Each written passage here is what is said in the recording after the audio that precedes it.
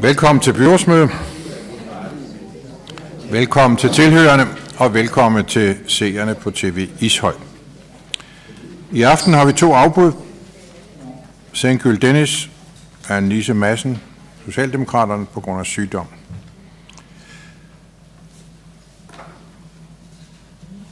Inden vi går i gang, er der spørgetid, og jeg skal spørge, om der er nogen af tilhørende, der ønsker at stille spørgsmål.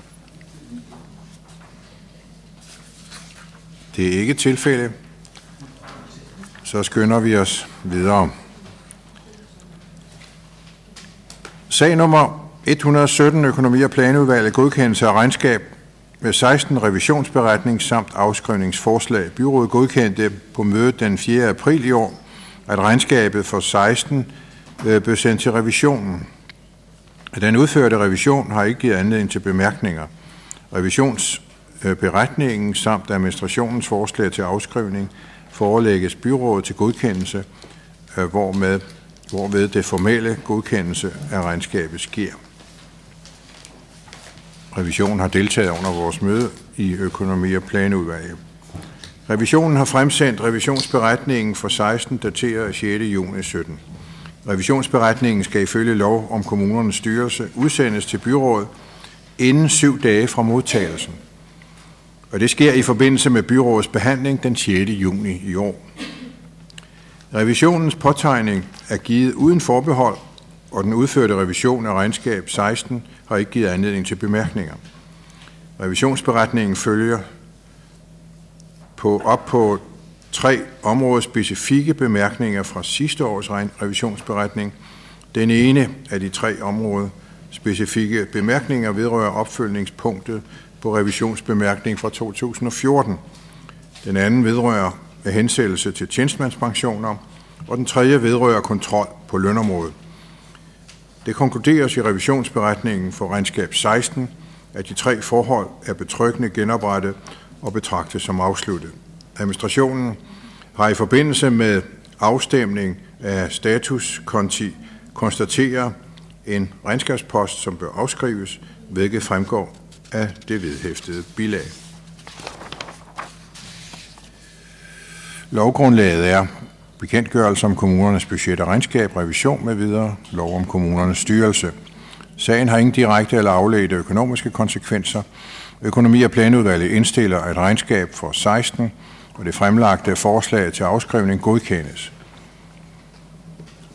Vi kan så, efter revisionen har behandlet øh, forslaget, vores regnskabsforslag, og overhovedet ikke haft nogen bemærkninger, det er faktisk første gang, det sker, så kan vi med tilfredshed sige, at vi kan godkende regnskabet.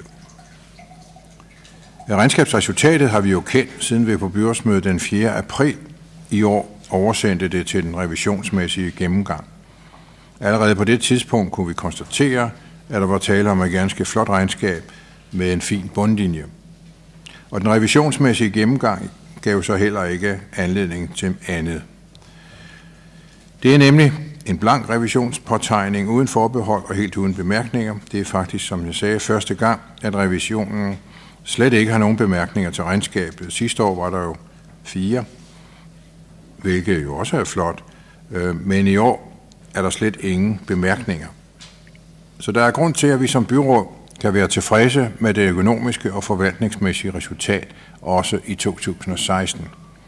Ishøj Kommune fører en ansvarlig økonomistyring med udgangspunkt i vores økonomiregulativ, den økonomiske politik og den finansielle strategi overordnede rammer, som byrådet har vedtaget. Når vi kommer så godt ud af 2016 rent regnskabsmæssigt, og faktisk har gjort det i de senere år, så skyldes det jo langt hen ad vejen, at der dels politisk, men også i bredt i kommunens administration, er en ansvarlig omgang med borgernes penge. Vi har truffet kloge beslutninger og har forholdt os grundigt til kommunens økonomi i sagerne.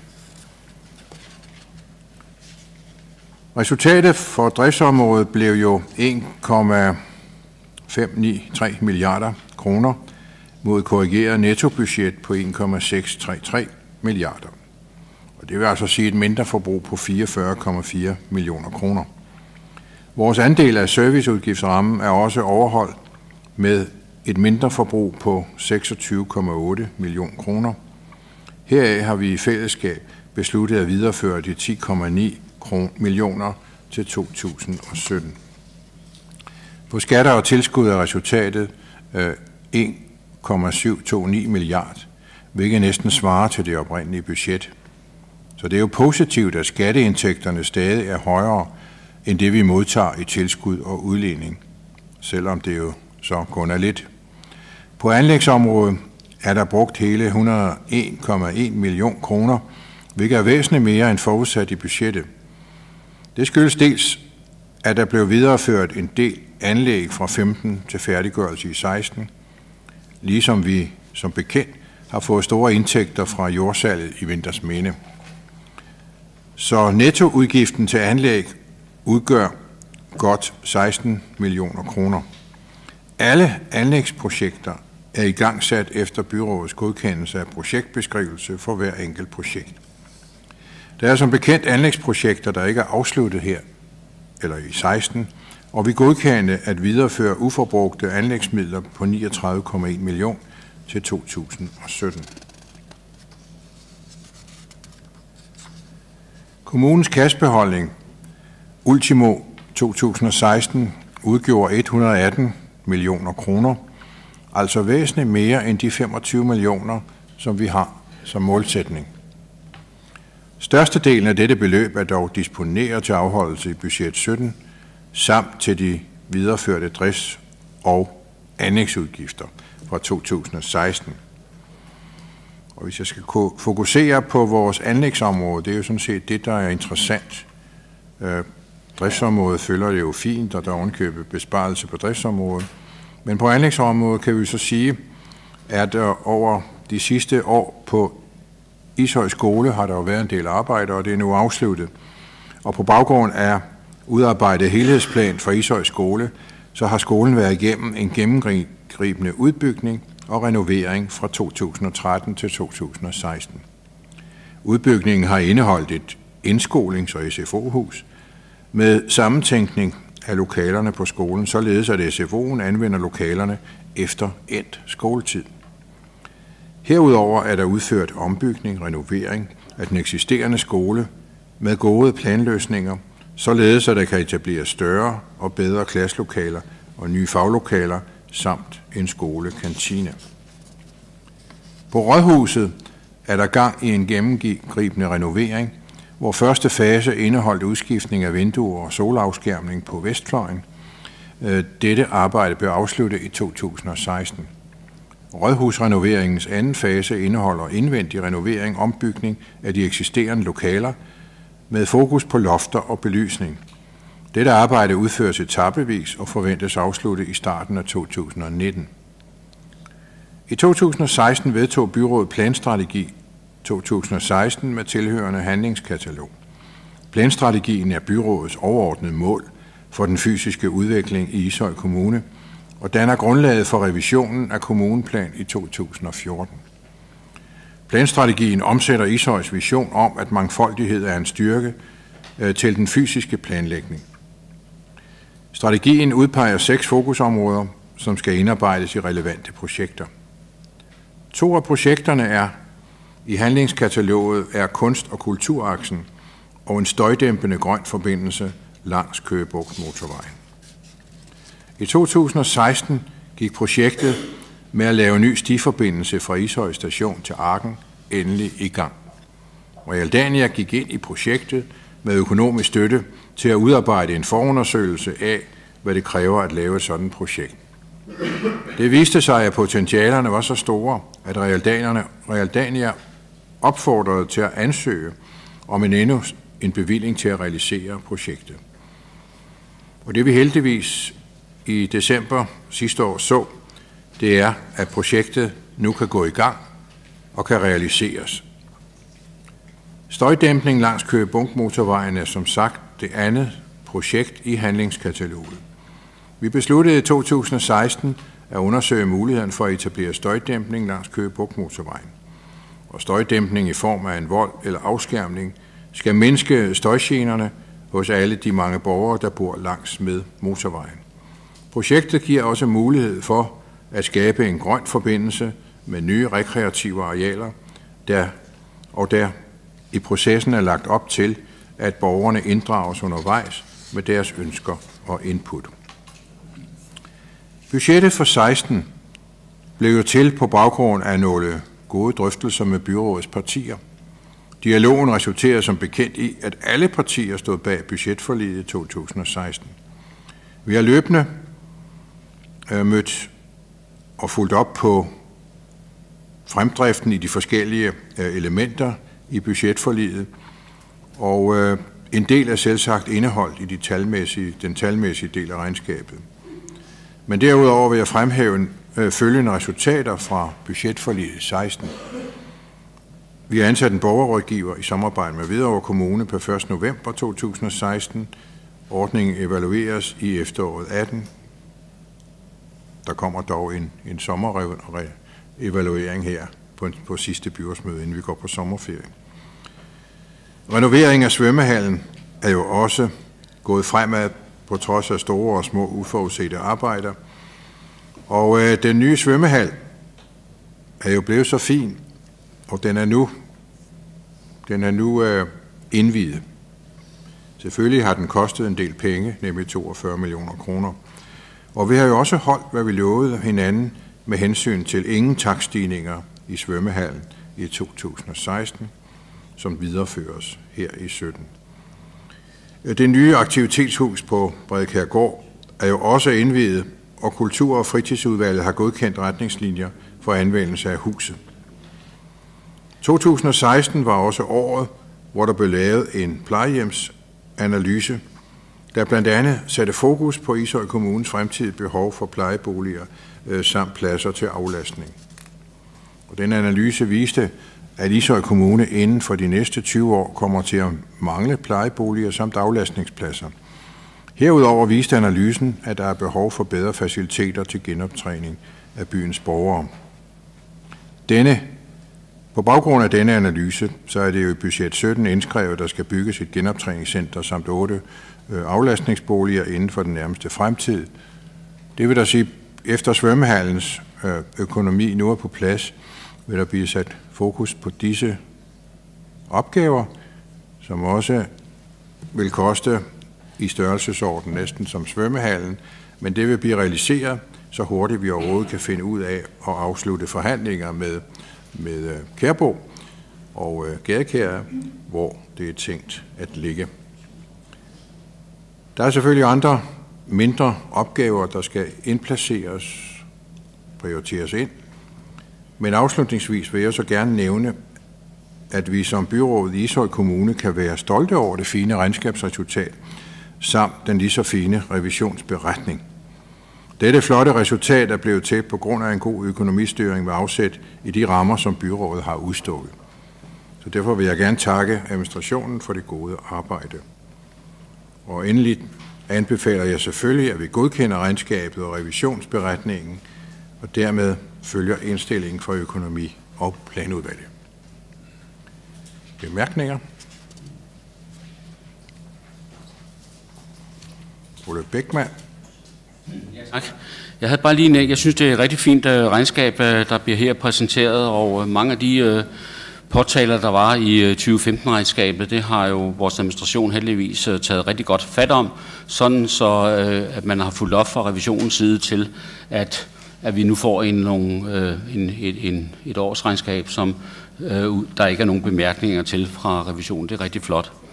Øh, det jeg indtal trykke ind for, det var den der bemærkning, om, øh, som du kom med, Ole Bjørstrup, om, om øh, Støjvold-projektet, som øh, også øh, kommer øh, i gang øh, nu her med det flertal, der, der ligger i byrådet. Vi er selvfølgelig rigtig kede af fra, fra vores side, at man ikke har undersøgt alternative muligheder og har præsenteret det for byrådet. Men øh, man ved jo, at de meget øh, lange motorvejstrækninger, hvor trafikken er så intens og tæt på, at, at støjskærmer i praksis er virkningsløse, og øh, det samme gælder så, så for, for støjvolde. Og den eneste ansvarlige løsning, det er, at man rent faktisk laver en form for en overdækning. Hvis altså myndighederne ikke vil gribe ind over for trafikmængden og hastigheden med henblik på at, at afveje denne her sådan, fremkommelighedsfordel, der er med, med gener for det naboerne udsættes for. Desværre er det sådan, at øh, myndighederne indtil nu har foretrukket de passive øh, indirekte midler, primært støjskærme og støjvolde. Og øh, disse midler har jo altid som forudsætning, at de ansvarlige myndigheder ikke vil gribe ind over for trafikmængden og hastigheden på vejene, som jeg lige nævnte. Når de passive og indirekte midler anvendes, så er det ikke årsagerne til sygdommen, i parentes, der behandles, men kun symptomerne på den øh, voldsomme trafikstøj. Ofte har de midler øh, kun til formål at foregive, foregive, at myndighederne har viljen til at gøre noget ved trafikstøjen. Men de passive støjafskærmninger har desværre kun øh, en meget begrænset effekt. Øh, når der, det minder faktisk betænkeligt meget om, om placeboeffekten ved medicinforsøg.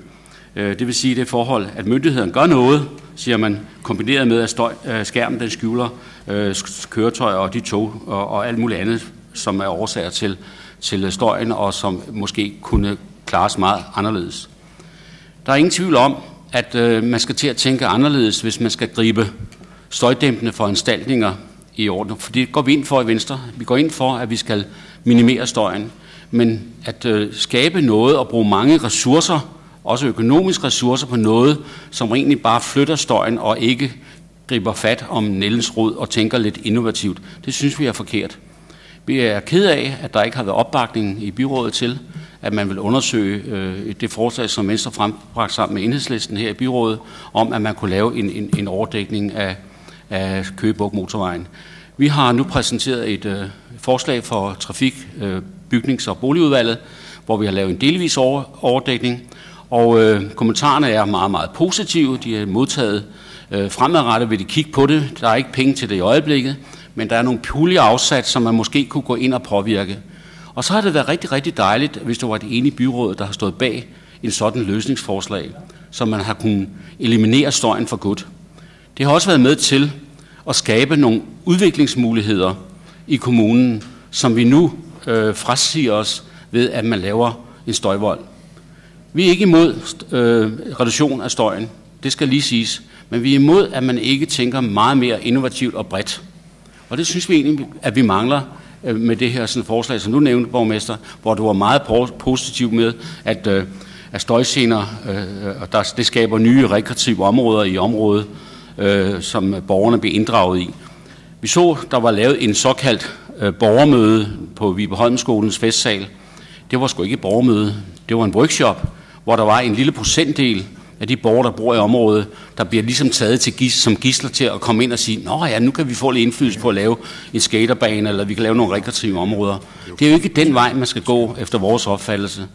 Vi mener, at man skal gå ind og tage fat om Nellens råd, og så en gang for alle få det her løst. Det kan godt være, at det ikke er kommunens opgave alene, men der er så mange finansieringsmuligheder for at få et projekt igennem, som er til, til gavn for samfundet, både samfundseffektsmæssigt, sygdomme, øh, forebyggelse, øh, udviklingsmuligheder, sådan så man kunne få så mange øh, øh, eksterne øh, finansieringsmuligheder for at få et projekt igennem. Og det er jo vi også over i Venstre, og jeg ved også, at Enhedslisten vil bakke op om det her, at man ikke står bag om en sådan løsning, som vi samlet kunne have gået ind til Folketingets trafik- øh, bygnings- og boligudvalg, og så fået præsenteret en løsning, som de vil kunne arbejde videre med, så der ikke bliver sådan en dual effekt, altså hvor vi den ene side så flertallet arbejder på en støjvold, og et mindretal de arbejder på en støj øh, øh, overdækning, delvis overdækning. Det er vi ærgerlige over, og det var min kommentar til øh, din meget positive udlægning af, af, af støjgenerne her i Ishøj. Jeg synes ikke, det er godt nok, men øh, det er jo jeres valg. Tak. Så Lennart. Ja, tak. Jeg vil gribe an et helt andet sted. Jeg synes, det er fantastisk, at vi kommer ud af 2016 med det resultat, vi sådan set gør, som der er blevet fremlagt i dag. Og fra vores side, så glæder vi os også over, at øh, tingene ser lyst og lovende ud. Øh, når det så skal siges, øh, så kunne vi godt ønske os fremadrettet, når man laver anlægsprojekter, så som svømmehal og sådan nogle ting, at vi så bliver lidt mere realistiske. Hvis vi nu skal være ærlige, så springer svømmehalsprojektet jo budgettet med 37 procent og ender på et tocifret millionbeløb, startende med fire. Øh, og det er rigtig mange penge, og det er langt mere, end vi sådan set havde forventet og regnet med. Så ved jeg godt, at når man anlægger sådan noget, så kommer der hen ad vejen, og det gjorde der i hvert fald i det her tilfælde, nogle ekstra omkostninger. Og når man har sagt A, øh, så bliver man også nødt til at sige B, for vi kan altså ikke øh, lave et smadret flot svømmebassin med nogle lækre sider, og så er der hul i bunden, så løber vandet ud. Øh, og det skal selvfølgelig laves. Så vil jeg alligevel også godt lige komme ind omkring det, der hedder støjgener øh, og støjudfordringer, øh, som vi har i Ishøj. Fordi vi, jeg er sikker på, at alle 19, og nu må, det er nu, man skal sige fra, hvis, hvis man har noget at sige. Jeg tror, vi alle sammen gerne vil gøre noget ved den støj, som vi alle sammen ved stammer fra Købuk motorvejen. Øh, I hvert fald i de 1840 boliger, som er berørt af det her. Sådan. Plus de områder, som vi faktisk ikke kan få lov til at bygge, på grund af, at der er for højt. Man skal huske på, at de 1830 boligområder, hvis de støjkrav, der var i dag, var gældende dengang de blev bygget, så kunne de ikke bygges. Og derfor er det her også et statsligt udfordring, og det er også derfor, vi har ønsket at inddrage for Enhedslisten og Venstre i det projekt, som vi har gjort. Når det så er sagt, så undrer det mig, og øh, vi har jo været på sådan en tur, det undrer mig, når man beder et øh, velrenommeret ingeniørfirma og nogle meget kompetente ingeniører, at man så ikke kommer med mere end et forslag.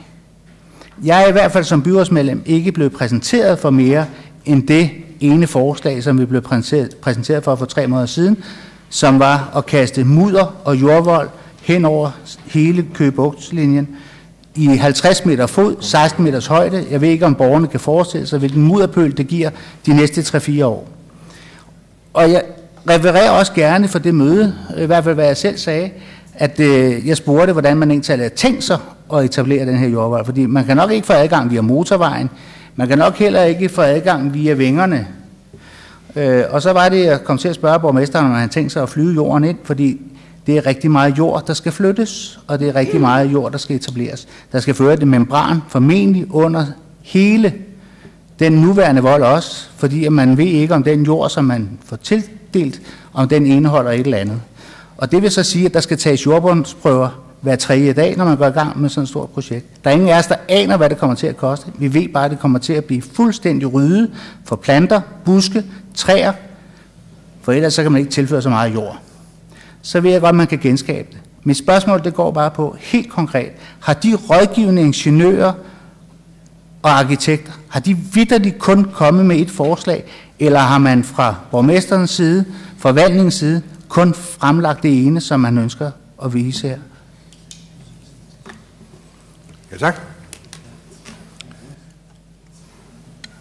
Jeg vil gerne sige, at jeg skal lige sige, at de her arkitekter kommer jo den 28. Det er jo sat på, bliver sat på dagsordenen på vores sidste byrådsmøde, som et temamøde, hvor arkitekterne kommer ud og forklarer, øh, hvordan de kan gribe opgaven an. Øh, så vi vil vente til, til den tid. Men det jeg gerne vil sige til Ole Bækman, Socialdemokratiet kan ikke vente på fugle på taget. Vi har forstået, vi har også hørt i staten, Vejdirektoratet, de ønsker ikke at overdække danske motorveje. Så den der von Hørengesagen og alt det der, I lægger ind til Folketinget, så må I jo altså få den til at handle. Det der snak kan vi jo ikke bruge til noget. Vi kan ikke blive ved med at holde folk for nar og sige, der går det ene år efter det andet, hvor vi ikke griber ind over for den støj, der er. Og det er det, der får os til at handle.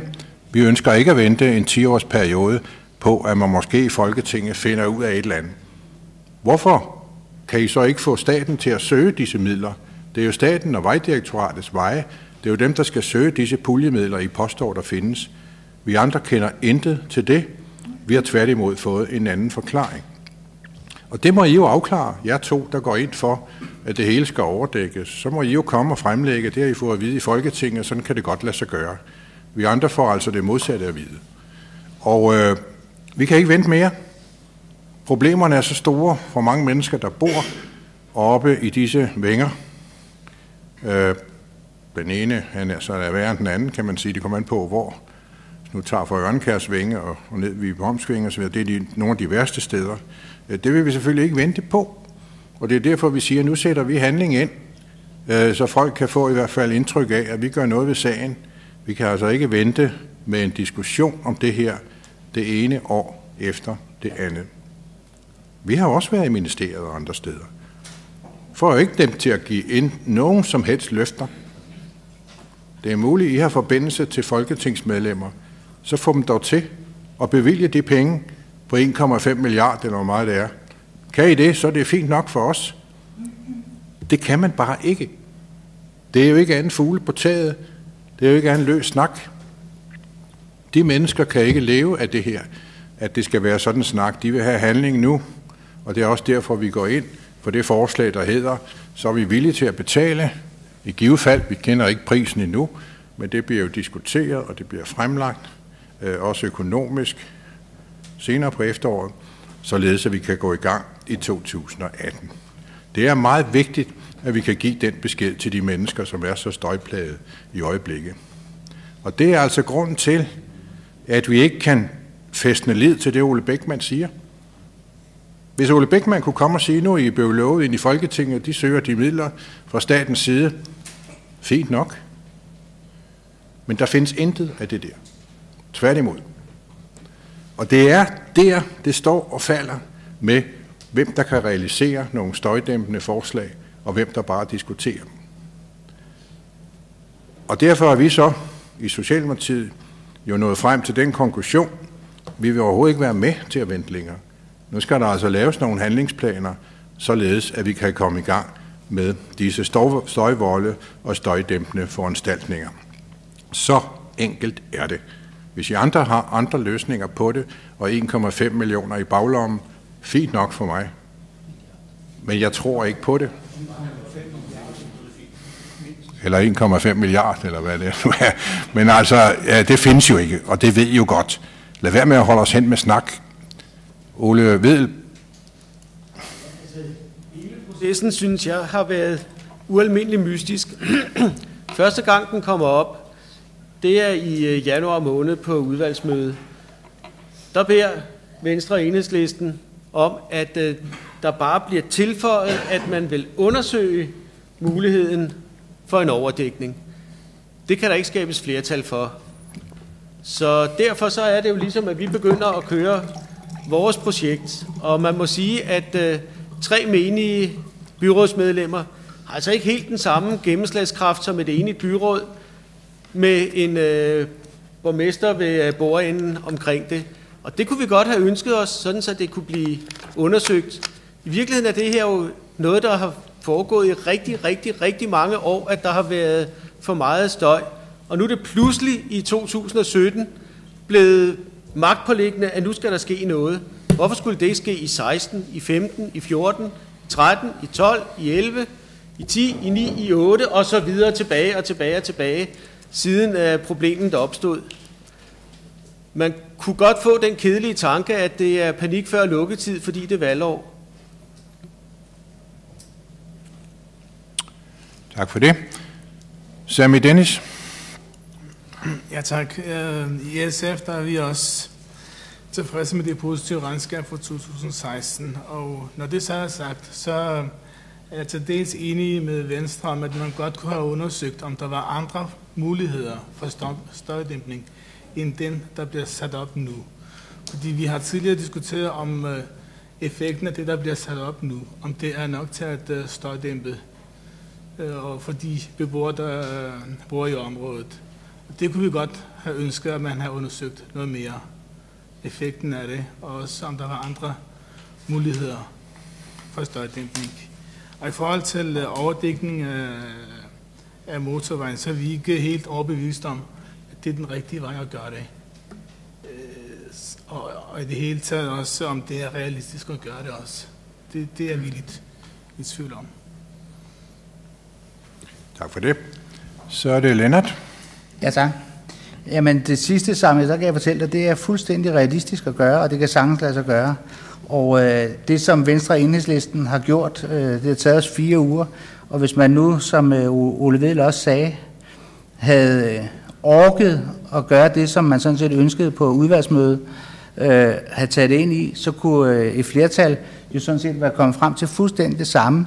Og vi har ovenikøbet kunnet præsentere nogle tegninger, visualiseringer af det her, sådan, der er ikke nogen af hverken at øh, ingeniører eller rådgiver eller borgmester, som har ønsket at visualisere, hvordan den mudderpøl kommer til at være på de 3,4 km, og fortælle borgerne nøjagtigt, hvor meget det kommer til at svine, hvor meget det kommer til at fylde, Og ikke mindst, hvor lidt det kommer til at gavne, for det kommer kun til at gavne de borgere, som bor lige i nærheden af volden. Vi fjerner ikke volden eller støjen, vi flytter støjen. Så hvis det ikke er de 1830, der har støjproblemer, når den vold er etableret i 16 meters højde, så er vi over, langt over 2.000, som, hvis man går ud og måler, som vil have de her problemer her. Og jeg er jo helt enig med Ole Vedel i, at det her det er jo et valgtriks, og det er jo kikset, så det virkelig basker, fordi man troede jo, at den her vold, den kunne man begynde at etablere øh, 8 timer efter, vi havde været ude på den rundvisning, som jo var en ren salgstale fra borgmester og ingeniører og rådgiver, hvor vi, det, nu skulle det bare præsenteres, og det var a piece of cake at lave det her sådan. Og den er jo fuldstændig eksploderet i hænderne på jer, fordi det viser sig, at man skal til at undersøge det hele. Man skal lave VVM-redegørelse, man skal undersøge al jorden, hvor får vi den fra, hvad koster det, og ikke mindst, øh, hvad koster de tanker, som I og ingeniører og rådgivere har omkring alt det kreative. I tør ikke sætte tal på det, men tallet nærmer sig, det tør jeg godt at vide på, kommer til at ligge imellem 80 og 100 millioner, som Israels borger også kommer til at bøde for det her. Og der er det bare, at vi siger, at det kunne man have gjort for helt tilbage fra 72. Lysten og viljen til at gøre noget alvorligt ved støjen er først kommet, fordi nu finder I ud af, at det er valgår. Og så skal der lige pludselig gøres noget. Og til jeres store irritation, så kan vi først komme i gang i 18, for alt det, jeg lige har nævnt, det skal undersøges. Øh, jorden falder ikke ned fra himlen. Den skal køres ind i store lastbiler. 4-35.000 lastbiler skal køre ind på, på volden og aflevere jord. Det skal bukseres rundt. Al den jord, der er der, skal flyttes, graves væk. Der skal lægges membran under. Fortæl nu borgerne, hvad det er for et projekt, I gerne vil have vedtaget. Jeg mangler før stadigvæk svar på, havde ingeniørerne og rådgiverne virkelig kun det ene forslag, eller kom de med andre? Mit indtryk det er, at der var andre forslag, det vil jeg gerne se. Poul Jørgensen. Ja, tak. Jamen, øh, jeg vil da indlede med, at Dansk Folkeparti de kan da godt øh, godkende regnskabet for 2016, som faktisk var overskriften der. Nu nærmer vi os så valget, kan man så høre, for det er det valgstrategi, som bliver kastet på bordet her vedrørende støj, kan man sige, her i kommunen. Øh, det skal overhovedet ikke herske nogen tvivl om, at hele bordet rundt er vi jo alle sammen interesseret i at få reduceret den støj, der er for Ishøjs borgere. Og vi er ganske udmærket klar over projektet fra Venstre og Enhedslisten, og nu bliver det tilsluttet af SF. Men øh, vi, mangler, vi, mangler, vi mangler noget økonomi i det. Vi mangler noget økonomi. Og øh, det har I jo sådan set øh, ligesom kastet på bordet, at det skulle sådan set ikke være noget problem. I har foretrædet for trafikudvalg og trafikminister og det hele. Øh, I kom bare tilbage med en tom punkt. Jamen, øh, I har jo ikke øh, kommet med noget beløb eller noget som helst. Og hvad kommer det til at koste? Kommer det koste øh, til 250 millioner, eller kommer det til med en pulje på op til 1,5 milliarder? Altså, det, der svæver nogle fantastiske tal rundt i luften. Så er der det vedrørende med jorden. Jamen, det er jo først kommet til rådighed, efter man bygger til metro og alt muligt andet. Og øh, der har vi jo så forløbig haft kendskab til en entreprenør, som aftager jord inden for metroen til 650 kroner per kubikmeter. Det får han per kubikmeter. Det skal han af med. Så han har tilbudt, ligesom andre eventuelt vil tilbyde, som har adgang til det jordoverskud, til at få øh, det øh, ud i øh, nogle støjvolde, hvor det er, at han kan etablere, eller man kan etablere de støjvolde, enten i 12, 14 eller 16 meters højde, ud fra de der trafik- eller støjmålinger, der har været. Og så kan han stadigvæk på bundlinjen have en fortjeneste ved at komme af med det jord og lave de projekter, som han har tilbudt. Det har vi set et nøjagtigt projekt, kan man godt sige, fra en anerkendt entreprenør, som er vant til at arbejde med så store projekter. Så det er sådan nogle, det er sådan nogle øh, tilbud, at vi efterlyser. Alt det andet med overdækninger, det kan vi da selvfølgelig blive enige om, men som sagt, der mangler nogle kroner og øre i, i sådan et projekt, som Venstre og så andre partier, nu vil jeg så ikke, øh, SF er åbenbart, åbenbart ikke rigtig med i det alligevel. Men øh, det, kan, det kan så være, hvad der være vil. Det kan være, hvad der være vil. Hvem der er partier, der går ind for at lave nogle alternative løsninger. Men øh, vi øh, hænger os i hvert fald i øh, det helt konkrete, og det skal være realistisk. Det er det, vi retter os efter. Og vi øh, ser frem til, at øh, der, sker noget på det her område, og det får vi så også en præsentation af, af her på næste byrådsmøde, at der kommer ingeniører ud, og de kan forklare både dig og mig om, hvad det er, det kommer til at dreje sig om, og hvilke foranstaltninger, der vil være rigtig jordnære. Så skal vi så huske på en anden ting, vedrørende de udstykninger, der er planlagt her i kommunen. Der skal vi befinde os under en vis antal decibel, for at vi kan få lov til at udstykke i, øh, i sådan nogle parceller.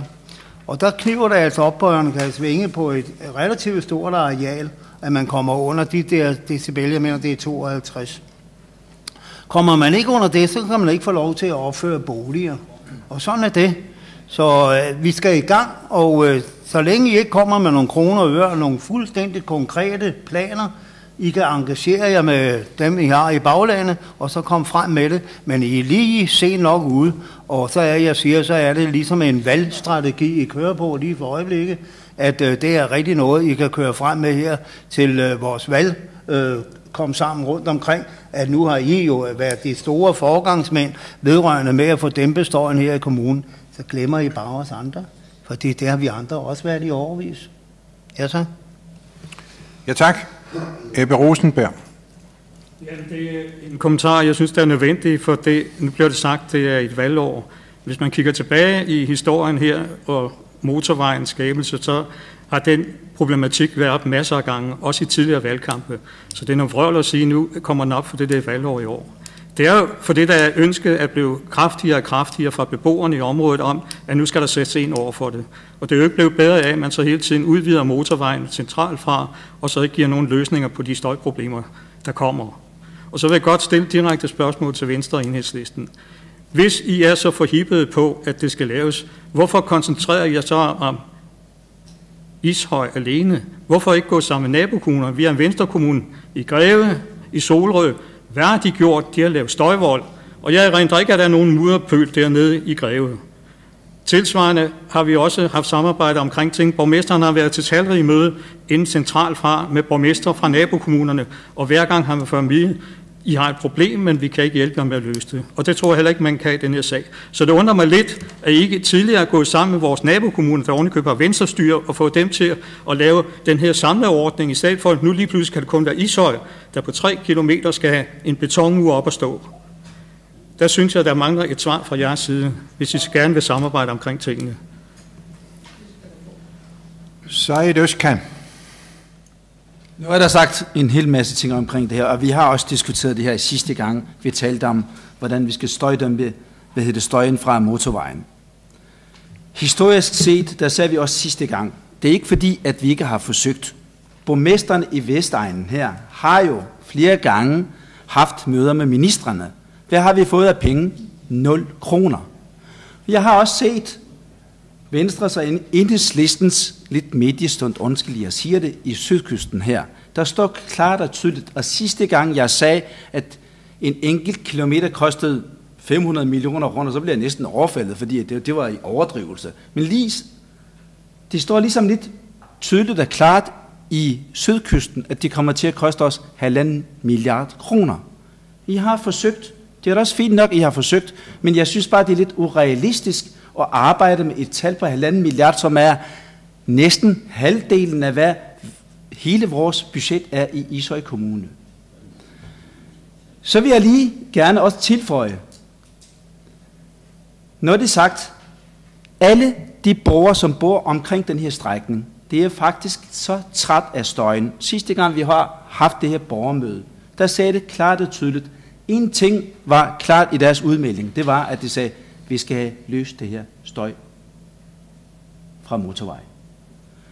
At man skal begynde at lave nogle, altså at vi ikke har lavet nogle undersøgelser på, hvilke type andre løsninger, der kunne være i den her sammenhæng. Den tunnel, I snakker om, den er blevet spurgt. Vi har faktisk undersøgt det, om vi kan kalde det undersøgelse eller ej, men vi fik der i hvert fald ud af, at man har lavet et eller andet i Hamburg, tror jeg nok, hvor meget det kostede, og hvor meget det skulle finansieres. Jeg tror, vi alle sammen rundt om det her borger, vi står helt fuldstændig åbent og klart. Jeg synes, det skal afsluttes her fra noget at sige, i hvert fald fra min side også, at hvis I kommer med halvanden milliard kroner, så tror jeg, at hele flertallet den her rundt om bordet, det vil gerne sige ja lige med det samme. Der er ingen grund til at bore rundt i den her, fordi at man har fundet ud af, at der sker en hel masse byggemodninger rundt omkring, og der er udgravninger, og der er noget overskudsjord, som kan gøre det lidt billigere for os. Skal man da selvfølgelig benytte chancen til at gøre det. Man kan ikke komme og klandre os for at løse et problem og sige, at det er et valgår. Det synes jeg ikke er fair.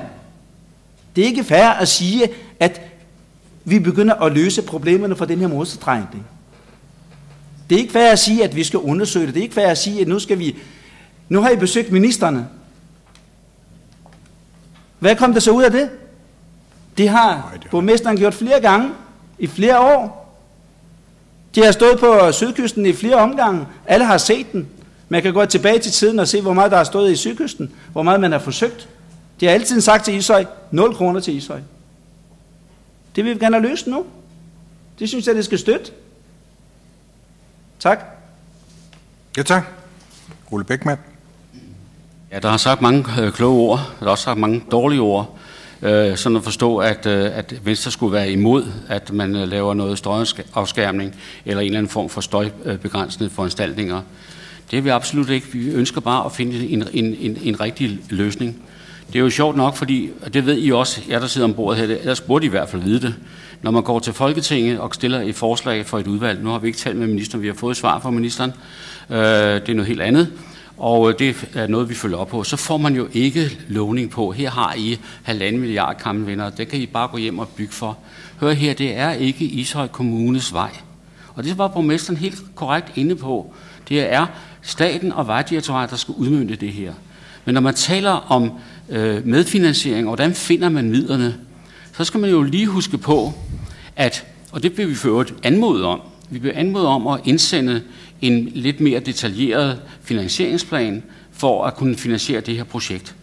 Øh, det, man var meget bekymret fra, øh, over fra flere øh, øh, partiers side, var, at det kunne danne præcedens for andre kommuner. Ja, det kan det godt, og derfor skal man netop ikke inddrage andre kommuner nu og her.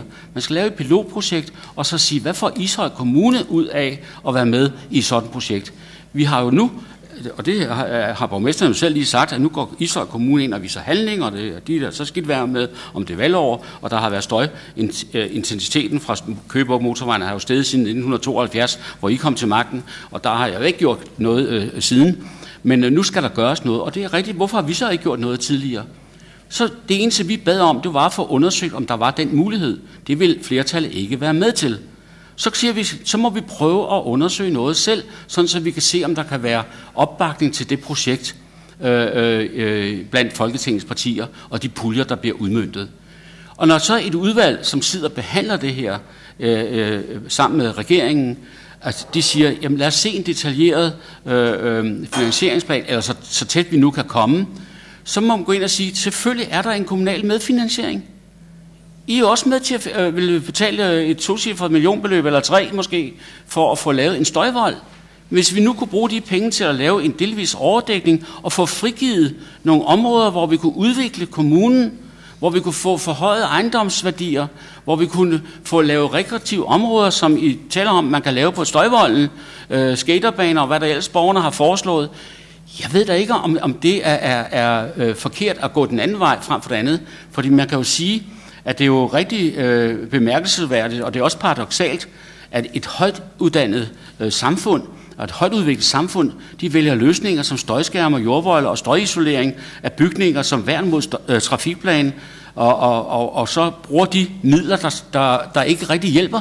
Man ved jo godt, alle undersøgelser peger på, at det hjælper ikke, det flytter støjproblemerne, som min kollega har nævnt tidligere.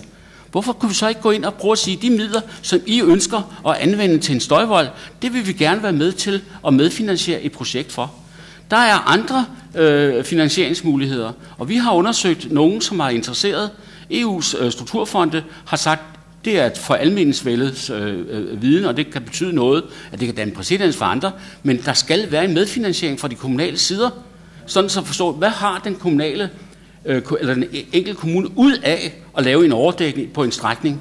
Og så kan man gå hen og sige, hvor meget skal de så være med til at finansiere. Det kunne være en model, man valgte. Og det er nogle af de ting, som Trafikudvalget, øh, eller Transportudvalget vil kigge på. Og så kan man så se, hvad kommer der ud af det? Det ved vi jo ikke noget om, for vi får jo ikke en pose penge med, når vi går derfra. Det har, har borgmesteren jo heller ikke fået, når han har haft møde med, med ministeren. Der bliver der hele tiden sagt, nej, der er ikke penge til det. Det samme for vi der også at vide. Der er ikke afsat penge til det her. Men man kan, hvis man kommer og har en fuld opbakning fra en kommune til at vil gennemføre et, et pilotprojekt, som, som kunne være banebrydende for andre projekter i Danmark og i resten af verden. Så kunne det sætte Ishøj på dagsordenen. Det kunne sætte, som den første kommune i Danmark, der laver de her sådan ting, uha, vi får en masse ting. Hvorfor ikke prøve det, når vi er et højt udviklet samfund, frem for at bruge de traditionelle løsninger? Det er det, vi forsøger, at vi gerne vil have undersøgt og diskuteret. Og hvad er det jo ikke? Og det er der vel ikke nogen, der kan have noget imod. Men politikken er ikke sådan, at man bare får en pose penge, og nu går I i gang. Det er staten, og det er Vejdirektoratet, der udmyndter det for staten, for at lave de øh, støjdæmpende foranstaltninger, eller hvad man finder frem til. Og det, der man har gjort hidtil, det er alle vidne om, det fungerer ikke, det virker ikke, det flytter støjen. Hvorfor så ikke tale om noget, der, der er forebyggende, er med til at, og øh, forbedre vores øh, sundhedsfremmende foranstaltninger, vi ved, øh, Kora og andre har kommet med rapporter, at 256 øh, borgere i Danmark er døde på grund af direkte og indirekte støjplader. Øh, der er en masse, der, der bliver syge og dårlige af psykiske påvirkninger, og det ved I også godt alle sammen. Så det er bare det, vi siger. Hvis vi nu undersøger det, så kan det godt være, at det ikke kommer i morgen, eller det kommer næste år, eller i 19 eller 20. Men hvis det nu kom i 24, så var jeg, vi da redde til at vente. Nu har vi da ventet siden 1972, kan vi selvfølgelig også vente 3-4 år mere. Jo. Jeg skal lige gøre Ole Bækman opmærksom på, at anden gang man har ordet, er taletiden tre minutter. Og den er væsentligt overskrevet. Ja, den er væsentligt overskrevet. Jeg nævner det bare, hvis du skulle tage ordet igen også. Værsgo, Lennart. Ja, tak. Jamen, jeg vil ikke sige så fat meget mere. Altså, andet end, at jeg synes jo, at Jeppe, han... Ja, det skal jeg Tak for det. Øh, jeg vil som ikke øh, sige så meget andet til Ebbe, at øh, jeg sidder her og varetager Ishøjs Borgers, hvad skal man sige, støjgener. Og ja, man har nøjagtigt samme støjgener, Greve Solrød. Og øh, jeg kan love dig for, at de er virkelig interesserede i det, som der sådan set sker. Det kan godt være, at byråden ikke er det, men borgerne, de har altså fanget budskabet i det her. Fordi det eneste, der reelt kan fjerne støjen, det er, at man lukker den inde. Og vi vælger jo netop ikke at lave en ren tunnel, men jo kun en træsid, fordi at vi jo har et erhvervsområde, som vi gerne vil begunstige og stadigvæk kunne, kunne kigge ud til. Og støjen ikke influerer den vej, fordi man kan sætte nogle belægninger i, noget, i, i sådan en scene. Og så hvad Solrød og Greve gør, det må de sådan set om. Som Ole Bækman også siger, så findes der midler til at finansiere det. Vi har jo ikke gået ud fra, at øh, vi fik halvanden milliard, da vi var derinde. Det er, hvad anlægget koster. Og det kan Ishøj heller ikke svare alene. Men det er altså Ishøj, der får glæden, gavnen af de fordele, at det her det giver. Fordi det giver altså øget ejendomsværdiskatter, det giver altså øget mange ting, når vi pludselig gør de her ting, som jo er til gavn for Ishøj. Plus at vi får altså, undskyld jeg siger det, ikke mindst åbne landet ind i landet. Øh, lige nu der er man mere, mere tættere på at lave en kystsikring, cirka 3 km ind i landet, hvor man laver en 16 meter høj vold. Så når vi om 250 år får høj vandstand, så er, kommer den nye grænse til at ligge inde ved, ved volden der. Det er jo håbløst. Det er jo ikke, det er jo ikke at tænke fremad, det her. Sådan. Hvis vi skal gøre noget ved den støj, og ikke bare flytte støjen, så bliver vi nødt til at gøre noget alvorligt ved det. Jeg efterlyser stadigvæk, har man virkelig betalt et ingeniør- og rådgivende foretagende, som vi virkelig er velankendt eller velanset, for kun at komme med den ene løsning, som passede ind i jeres kram? Eller er der andre? Jeg, bliver nød, jeg vil gerne se det materiale, der så er fremsendt. Mange tak, og så er det Sami Dennis. Uh, ja tak. I SF uh, øh, tænker vi også på, at der skal være uh, støjdæmpende foranstaltninger i Ishøj for vores borgere.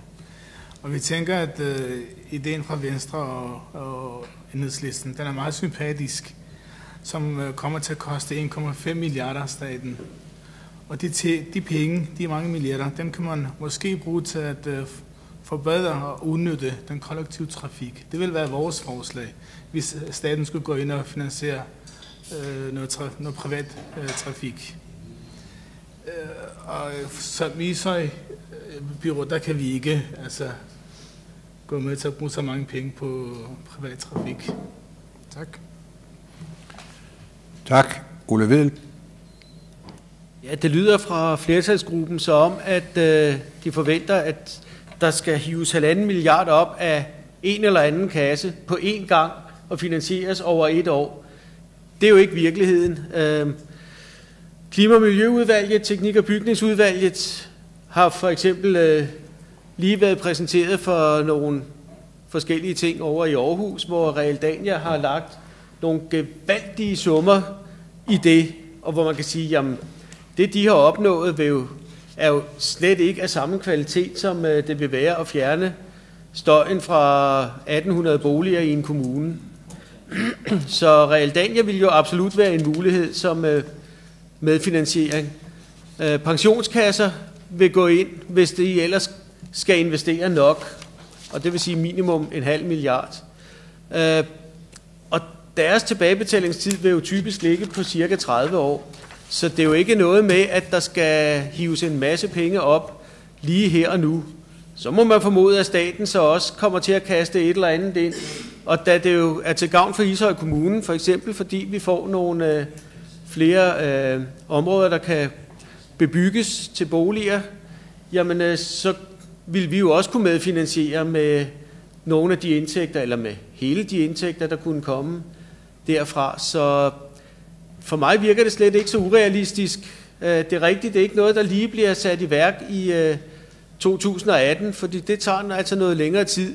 Men øh, som man kunne se i Sydkysten, så taler både Venstre og Enhedslisten i trafikudvalget om, at der ligger penge i 20. Og jeg ved så godt, at Enhedslisten er mere på linje med SF i det her stykke, at man skal sænke øh, privatbilismen og gavne den kollektive trafik.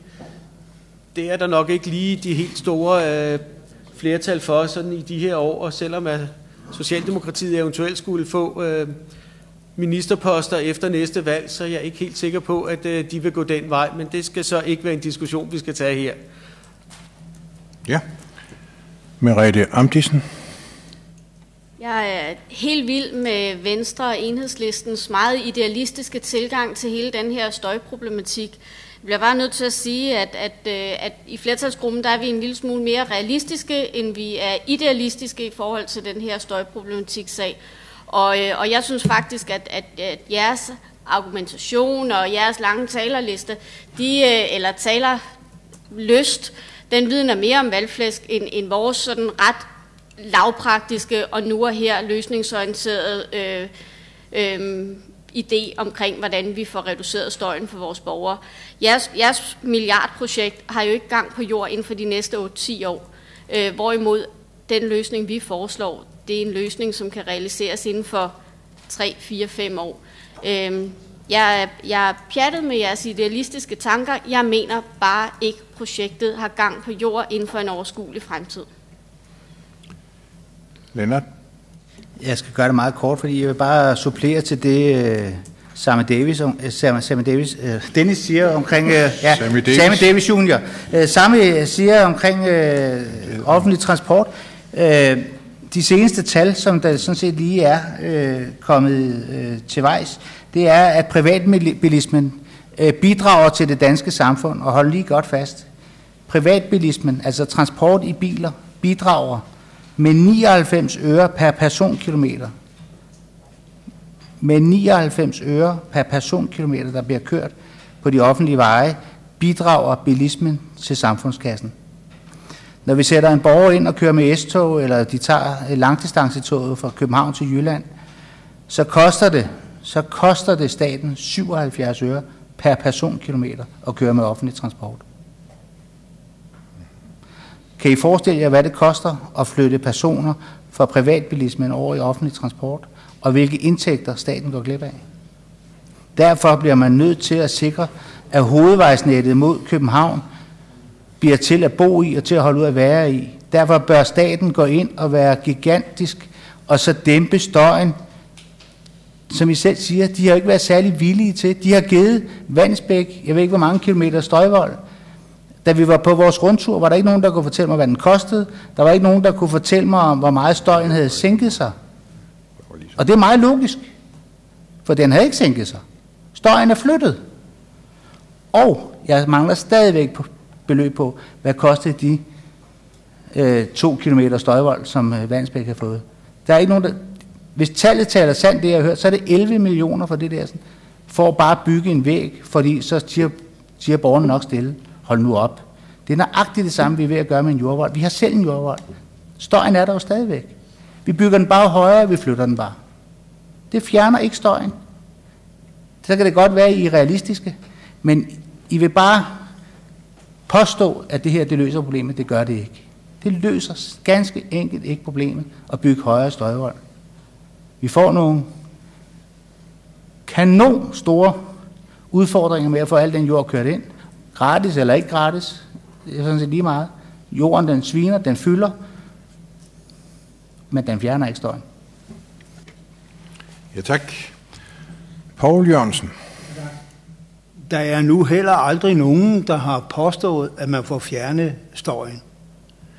Det, det drejer sig om, det er at få minimeret støjen under nogle decibel, så det er tåligt at opholde sig i bymæssige områder med beboelsen og det hele taget er færdigt.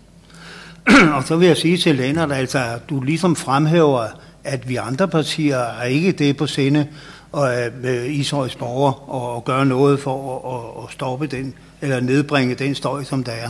Det er, er lige så stort et projekt for os andre, som det er for jer. Men det er bare, at det skal være realistisk. Og lad os nu se frem til det næste byrådsmøde, hvor der kommer nogle eksperter ud, og kan fortælle os en hel del mere, end det, at vi øh, som byrådet er underrettet om PT. Og ud fra det, så stadigvæk have den debat i gang, og så øh, gå se frem til, at øh, I kommer med en løsning, både rent økonomisk alt muligt, ret hurtigt, vedrørende den overdækning på de der 3,4 km ned mod Greve, og, øh, og tage lidt af Valdensbæk med, det er sikkert helt den strækning.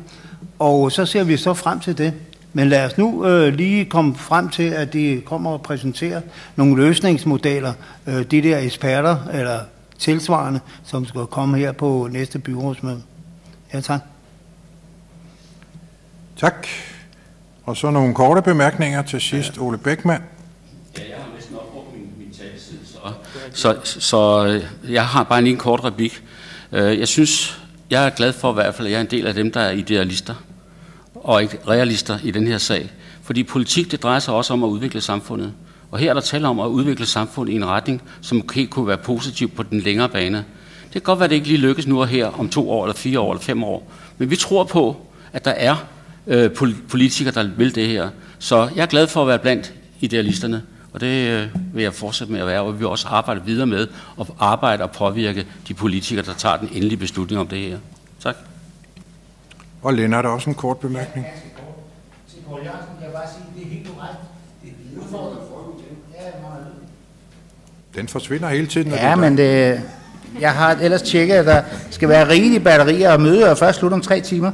Jeg vil bare sige, at øh, jeg er bare sikker på, Paul, at øh, hvis ikke at vi havde fået frigivet arealet på Ørnekars Vinge, øh, som jo rent faktisk skulle være med til at, at, at være grundlaget for den støjfond, som vi har lavet i kommunen, og som jo, skal vi være enige os to, den bidrager faktisk med 0 kroner i den der, sådan, fordi vi kan ikke sælge det stykke jord, fordi selvom vi laver støjvold på 16 meter, så er det ikke nok til at sænke støjen inde på Ørnekasvingen.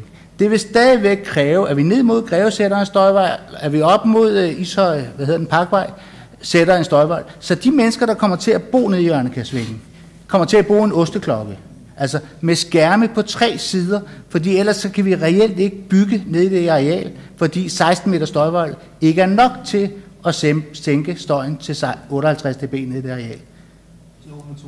Ja, jeg, jeg, siger bare 58, fordi så, så, så er jeg mere sikker, fordi jeg tror 58 er rigtigt.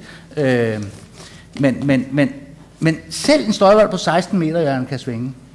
Fordi støjen jo rent faktisk bliver båret lige ned i det her areal, ved at vi flytter den. Så kan det godt være, at dem, der bor i Jørgen kan svinge helt op ved volden, kommer til at, at fornemme, at støjen er sænket. Vi flytter den bare. Det er, det, det er det faktisk det bedste eksempel på, at det vi er i gang med her, det er faktisk halsløs gerning. Og derfor så beder jeg stadigvæk om at få at vide, har de ingeniører og rådgivende firmaer vidderligt kun kommet med det ene forslag? Har de ikke kommet med to andre forslag?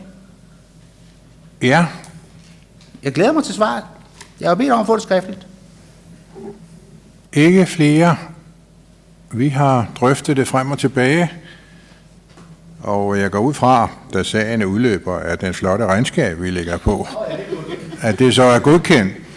Og vi arbejder, Socialdemokraterne, Dansk Folkeparti kan jeg også forstå, arbejder videre på en realistisk måde, at vi gerne vil lave vi, uh, forslag, som nedsætter støjen, den fjerner den aldrig helt, øh, så meget som muligt, således at det også kan blive beboede områder. Det er det, vi arbejder for. Vi arbejder ikke for fugle på taget. Tak for det.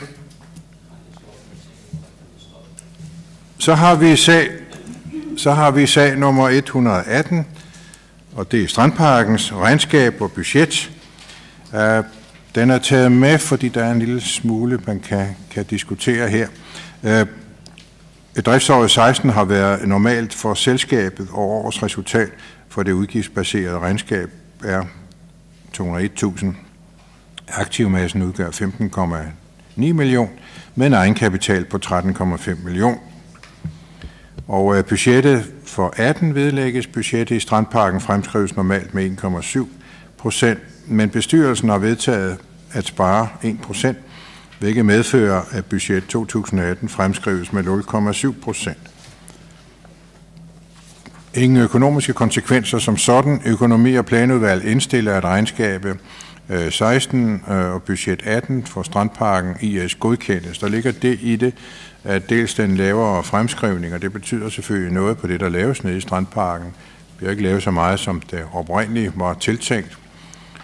Mest er der jo lavet legepladser og udskiftning af borer og bænke og, og øh, et enkelt, et enkelt øh, kunstområde med Henry Herups. Det er i Brøndby-delen af, af Køgeborg Strandpark, er det dog også blevet til. Øh, men det, der ligger i det, det er jo også, at når det nævnes med, at aktivmassen er 15,9 millioner og en egenkapital på 13,5, så synes jeg egentlig, det er ganske flot, når man tænker på, at udtræden fra København og Frederiksberg, som, øh, som øh, konsortiet, altså de fem kommuner, der var tilbage, måtte betale for, at de andre kunne træde ud og bruge pengene et andet sted. Det kostede os 14-15 millioner kroner. Det alligevel kunne klare det, således at det ikke kom i nul. Alle de kommuner, der har, er tilbage i Strandparken, har så været villige til at betale ekstra beløb, og det er jo ganske godt klaret. Øh, men det er så det, der er vilkårene i Strandparken, at, øh, hvor vi jo også holder borgermøder. Vi har lige holdt et for ikke så længe siden, med henblik på, hvordan man så kan prioritere de udgifter, vi jo trods alt har, og også kan gøre godt med nede i Strandparkområdet. Tak. Poul Jørgensen. Jeg har ikke nogen sådan øh, på Dansk Folkepartis vegne noget til økonomien, men jeg kunne jo godt tænke mig, ligesom jeg har spurgt om det før, om øh, nu bestyrelsen er sammen med administrationen og den daglige ledelse opmærksom på den øh, stadigvæk nedbrydning, kan man sige, af den forreste klitrække. Og øh, de ting, der er sket op i Vandensbæk, det er, de har jo fået, kan man sige, udbygget deres stige, dige højde, og så er det ligesom, at vi mangler stadigvæk noget hernede i selve, kan man sige, det store område af Strandparken. Når man færdes dernede, hvad jeg gør ret tit, så kan man jo se, at næsten efter hver øh, storm, der har været, øh, der har pålandsvind med kraftige bølger ind mod det eksisterende dige, der er tilbage, at der bliver, der bliver snuppet sådan et stykke næsten hver evig eneste gang. Så på et eller andet tidspunkt, så ruller det om bagved, øh, så har vi så de to, der om bagved til eventuelt at, at, at tage det, men så bliver hele plateauet om bagved jo selvfølgelig oversvømmet.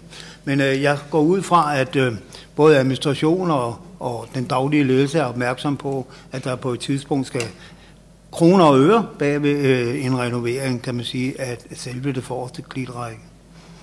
Ja, tak. Ja, det kan jeg svare bekræftende. Selvfølgelig er vi fuldt opmærksomme på det i øh, Strandparkens bestyrelse. Øh, og øh, følger det meget nøje. Det gjorde vi også under den sidste storm, der var, eller flodbølge, eller hvad vi kalder det, som kom ind nede ved Køge Bugt for første gang. Men øh, det klarer vi på grund af de slusesystemer, der er, hvor du kan lukke vand ud, helt ud i, i havet, øh, hvis man er, får et varsling i god tid, og det har vi så fået via vores beredskab. Og det er sådan nogle ting, der skal virke, således at øh, vandstanden ikke var højere, da det så begyndte at stige, end at det kunne klares med de øh, diger, der er.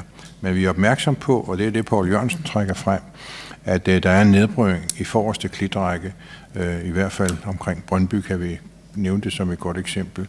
Men, øh, men øh, det skal vi, det vil blive prioriteret, det kan jeg love dig for. Så er der jo andre ting, der kommer til at vente lidt. Ja, tak for det. Vi vedtager indstilling.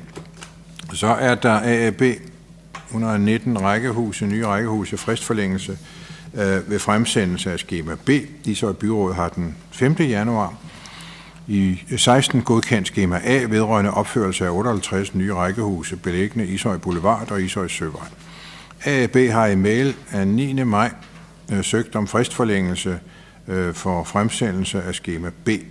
Skema B skulle være fremsendt til Ishøj Kommune senest den 24. maj i år, men der ønskes en fristforlængelse på 8 måneder, så en ny frist bliver den 24. januar 18. AAB oplyser, de modtagende tilbud Øh, fra de prækvalificerede entreprenører var højere end forventet. Det mest fordelagtige tilbud var 28 procent højere end det gældende rammebeløb, øh, som der kan bygges for. AB har derfor været nødt til at annullere licitationen. AB's rådgiver på sagen, Mango Ornal, øh, vil undersøge mulighederne for at optimere projektet, da AAB ønsker at udbyde projektet igen, så byggeriet kan gennemføres. Økonomi- og planudvalg indstiller fristen øh, for fremsendelse af skema B forlænges til den 24. januar 18. Skal lige sige det her, det er jo selvfølgelig altid lidt trist, men forhåbentlig ikke en umulig opgave. Men øh, vi er jo altså i økonomiske opgangstider og øh, væksttider. Det skal vi så være glade for i Ishøj. Men det gør det lidt vanskeligere at og øh, også arbejde med almen byggeri. Fordi øh, entreprenøren, der så skal ind og byde på det her, de øh, forhøjer jo deres priser temmelig meget, og det er jo et meget godt eksempel på det, at øh, prisen kommer op, kommunens indskudskapital øh, stiger jo så også, men der skete heldigvis ingen ulykker i budgetforliget eller i aftalen mellem regeringen og KL, således at indskudskapitalen ikke stiger øh, over 10 procent. Men det her er jo udtryk for, at det er svært, øh, Øh, når der laves licitationer på det her boligområde, hvor entreprenørerne jo, hvor de, da vi havde kriser, 8, 9, 10 her i Ishøj, så satte de jo priserne lavt. Der var det let nok at bygge. Men øh, nu er vi inde i en anden situation, og det gør det så lidt vanskeligere. Det betyder, at boligselskabet her skal jo vurdere, hvordan man kan lave et projekt til at fremsende yderligere til byrådet. Og det beder de så om forlængelse til den 24. januar øh, 18, og det imødekommer vi selvfølgelig. Men det er nogle af problemstillingerne med det almindelige byggeri i øjeblikket. Lennart? Øh, jeg har selv godkendt den her indstilling, men vi havde en snak, øh, eller en kort debat om, øh, om tingenes tilstand, jo, jo netop på grund af halv, halvdelen af den jord, som AB ønsker at opføre de her hus på, jo ejes af Ishøj Kommune. Øh, og derfor så kunne jeg sådan set godt tænke mig at sikre mig, at øh, den øh, kapital, som Ishøj Kommune jo, fordi vi skal jo, hvis det er almindelige boliger, så skal vi give 10 procent, at det er indeholdt, øh, og det gør jeg også ud fra, at det rent faktisk var i den anden aftale, øh, i den grundpris, der sådan set var, så kommunen ikke skulle have nogen penge op af kassen. Øh, det håber jeg, at man også sikrer sig, fordi ellers så skal vi i hvert fald som byråd være klar over, at øh, vores jord har også mere værdi øh, og bør derfor også stige i forhold til det her. Sådan. Så det bør vi tage forbehold for. Ja, vi kender problemstillingen. Vi kan jo ikke gå ind og give nogen garantier i den ene eller anden vi, retning, vi, vi, men altså selvfølgelig er der en problemstilling der, det er vi fuldt opmærksom ja. på. Paul Jørgensen? Ja, Jamen, netop det sidste, det har vi drøftet før. At ja, vi har selv gjort opmærksom på det, at det jo et højere kan man sige, pris, der er i offentligheden på jord. Og der skal kommunen selvfølgelig følge med, når de sælger jorden. Det er sådan, at det. Men det der rammebeløb, jeg går ud fra, det det, at der er jo en lov, der siger, at almen byggeri kvadratmetermæssigt ikke må overstige et beløb. Ja. ja. Og det er så at det rammebeløb. Så kan man så ikke opføre de boliger der, fordi nu er det så overskrevet med 28 procent. Det går ud fra, at det er det højst tilladte øh, rammebeløb per kvadratmeter i almindelige boliger, at man har overskrevet. Så kan vi jo lande i den situation, som vi har set andre steder, også her i kommunen, og i andre, vi har været på besøg på Danmarksrunden i Rødovre, hvor vi har set noget almen byggeri, hvor det er, at øh, lejerne så har selv måttet foranstalte øh, køkkener. Det vil sige, at når de rykker ind, så har der været sådan her, og så har der været det, der skal være af installationer til at lave varm mad. Resten må de selv sørge for. Og det kan så være kirsebærkøkken, der koster 80 eller 100.000 eller hvad. Det vælger folk selv. Og så kan de afskrive det over 10 år. er normalt. Men det kan være sådan nogle foranstaltninger, at øh, man bliver nødt til at gribe for at øh, øh, få et projekt igennem til en kvadratmeterpris, der kan godkendes. Og øh, det kan man sige, det er de skrappe øh, vilkår, at øh, lejere, kan man sige, bliver udsat for ved at, at rykke ind. Men så er der så også det spørgsmål, at netop når prisudviklingen er så voldsom, som den er, at den kvadratmeter øh, tilladte pris, om den egentlig ikke skulle sættes op. Det er ikke noget, vi har med at gøre. Det er noget, ministeriet, regeringen og sådan nogle har, har med at gøre, som er meget kloge hoveder, at om de ikke skulle ligesom sætte det op. Men det fjerner selvfølgelig ikke prisniveauet, kan man sige, som er ret højt. Men ud fra det, så får man bygget noget, og de mennesker, som er berettiget til at få noget boligydelse og det, de kan så få ud fra den stadigvæk stigende, desværre, kvadratmeterpris. Men jeg siger det på den måde, fordi et projekt som sådan et som det her, kan jo ikke bare ligge stille på grund af en overskrivelse i det her tilfælde på de 28 procent. Der skal jo findes en løsning, men det er jo ikke alene en løsning, at vi og boligselskabet skal komme med i den sidste ende. Det er jo også øh, lovgivningsmagten, der skal komme med, hvordan øh, øh, sjuser vi os frem til, eller asjufører, kan man sige, nogle kvadratmeterpriser i, i det almindelige boligbyggeri og selvfølgelig stadigvæk med det for øje, at man skal gøre det så billigt og rationelt som overhovedet muligt. Men det skal jo også være nogle moderne boliger, der bliver stillet til rådighed for kvadratmeterprisen i sig selv på 1050 kroner og deroppe efter, er i sig selv, er i sig selv ret høj. Ja, tak. Ja, altså du, du har fuldstændig, hvis jeg lige må kommentere med det, det, det er fuldstændig ret, Paul Jørgensen. Det kan måske også godt ende sådan. Vi skal nok gå videre med det, at øh, en af mulighederne, som øh, AAB har, er at lave det om til almen plus byggeri. Ja. Vi ved ikke, om de vil gøre det. Det er jo deres beslutning. Henrik Olsen. Ja. Men øh, ja, det er jo svært ikke at være glad for, for opgangstider. Vi er jo heldigvis kommet ind i højkonjunktur, og det betyder jo også, at som vi også kan se i hvert fald, at hjulene de begynder at køre for, for fuld omdrejning, og det, og det, det er jo rigtig positivt. Men jeg synes også, at 28 procent, at man kan overskride det i, i det udbudsmateriale, der, der er lavet, det, det er faktisk rigtig, rigtig meget. Og jeg synes, det er... Jeg håber i hvert fald, at øh, der er rigtig mange, der har skrevet op til de her boliger, og jeg vil da i hvert fald godt være med til at berolige med, at på et eller andet tidspunkt skal de nok blive til noget, men øh, lige hvad horisonten er for, for at de bliver bygget, det, det er måske lidt uvist, men øh, jeg tror nok, de skal, skal blive til noget. Ja, tak. Tak. Ole Vedel.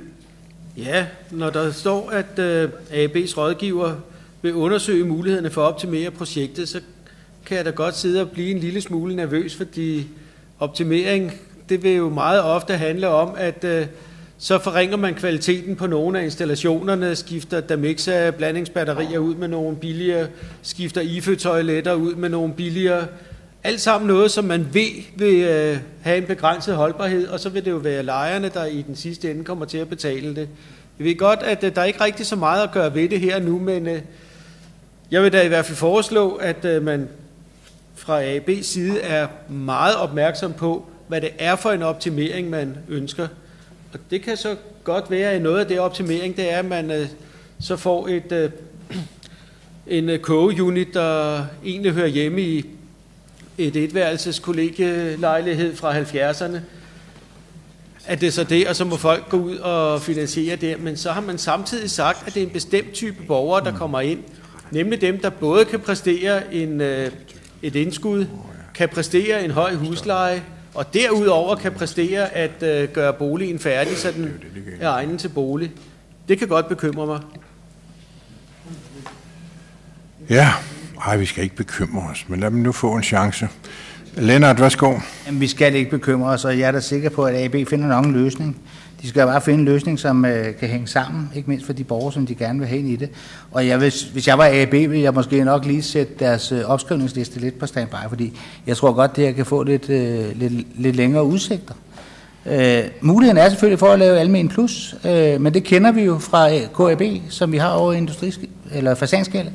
Og øh, der er jo boliger, hvor at, øh, man selv har måttet færdiggøre det sidste, og det er der en mulighed. Men om det lige frem kan sænke prisen, så den kommer ned og bliver tålelig, øh, så skal det godt nok være et dyrt køkken eller et stort køkken.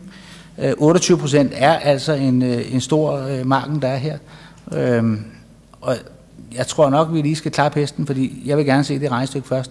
Og så håber jeg sandelig også på, at vi som kommune øh, siger, at det stykke jord, vi ejer, øh, det er altså også mere i værdi, end det var for tre år siden. Yes. Tak for det. Ikke flere bemærkninger.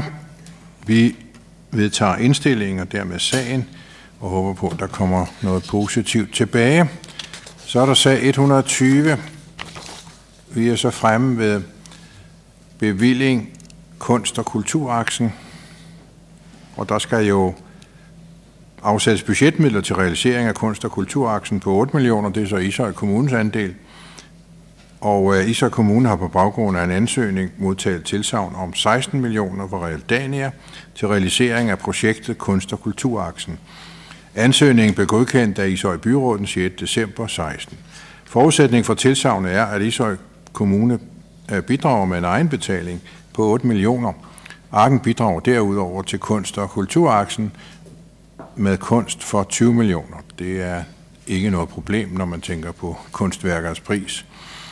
Og øh, derudover kommer de 16 millioner. Så det er altså et pænt stort beløb, der skal bruges for at kunne realisere det her. Kunst- og kulturaksen er et, et stift forløb fra Ishøj station til Arken med fokus på kunst, leg og sundhed. Stiforløbet øh, skal skabe en tydelig forbindelse, der vil lede borgere og besøgende på rette vej, samtidig med, at man skal gå på en aktiv opdagelse i kunst, natur og byrum. Projektet forventes realiseret over tre år, men stien udformes, så den løbende kan suppleres med flere kunstværker. Projektet opstartes i maj 17 med en konkurrence, som afsluttes i juni 18. Øh, derefter kommer en projekteringsfase fra august til november 18, udbuds- og anlægsperiode fra december 18 til december 19. Og konkurrencens budget er fastlagt øh, ud fra forundersøgelsens anbefalinger og i samarbejde med Realdania, specificeret på den måde. I øh, alt koster projektet de 24 millioner, øh, fordelt som følger 500.000 i 17, det er rådgiver, konkurrencerådgiver, honorar, øh, tryk af programmet og kick-off arrangement, 3,1 millioner i 18 og 20,4 millioner i 19. Af de 24 millioner finansieres de 16 af et fondstilskud fra Realdania. Det er Ishøj Kommune, der afløfter, afløfter moms, og der er indregnet en fondsafgift på 17,5 procent i projektet. Bevillingen fra Realdania udbetales efter en betalingsplan, der aftales med Realdania. Og økonomi- og planudvalget indstiller, at der i 17 bevilges 500.000, 18 3,1 million, og at der i 19 afsættes 20,4 millioner, og der afsættes 1 million i 18 i indtægter, og der afsættes 15 millioner i 19 i indtægter. Det er jo store beløb, men altså det har jo det er en sag, vi har arbejdet mange, mange år med. Det var svært måske i starten at finde ud af, hvordan man skulle skaffe disse mange millioner kroner til projektet, men i dag er det jo altså i hus, hvis byrådet bevilger sin del i dag. Og øh, på den måde kan det så realiseres, at vi får en, en akse fra stationen og ned til Arken. Kan jo se nogle af kunstværkerne, når I kører. Ned ad Skovvej, så befinder, finder de sig inde til højre. Det skal jo være nogle robuste kunstværker, som kan klare al vind og vejr i det her barske klima, vi har ved, ved øh, Strandparken. Men det kan også godt lade sig gøre, og jeg tror på, at det kan realiseres i dag, således at det bliver et særkende, ligesom da vi fik øh, vandet omkring arken, og dermed den lille, den lille dreng på gyngehesten, som var tegnet for arken, så kan fortsættelsen jo blive selve aksen helt op til Ishøj station. Det vil være et ordentligt brand for Ishøj Kommune, og derfor skal vi selvfølgelig støtte op om det her projekt. Poul Jørgensen. Ja, tak. Det er anlæggelse af Køge motorvej igennem Hvidovre Kommune. Der anlagde man jo også i det, man kalder for Mågeparken, eller har betegnelsen Mågeparken. der anlagde man også øh, sådan en øh, kunst, kan man sige, gennemtråd. Noget af det kunst, det er jo det, der er flyttet herud. Blandt andet de der, som børnene og voksne, som kan have drættet nok til det, de der kubler, de stammer der inden for Mågeparken. Så øh, ved jeg godt, der er den forskel på øh, det projekt derinde, at det ligger mere i natur, ifølge det der jordvold, som er lavet for den overskudsjord for Køgebuk motorvejen på de strækninger derinde.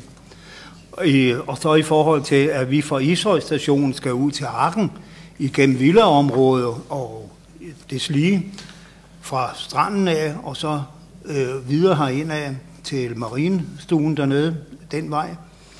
Og øh, det har selvfølgelig nogle rigtig andre perspektiver, men øh, det jeg er sådan lidt nervøs for vedrørende sådan noget her, det er, at øh, det skal vedligeholde sådan noget. Det koster jo også noget at vedligeholde. Det er jo ikke nok at etablere det.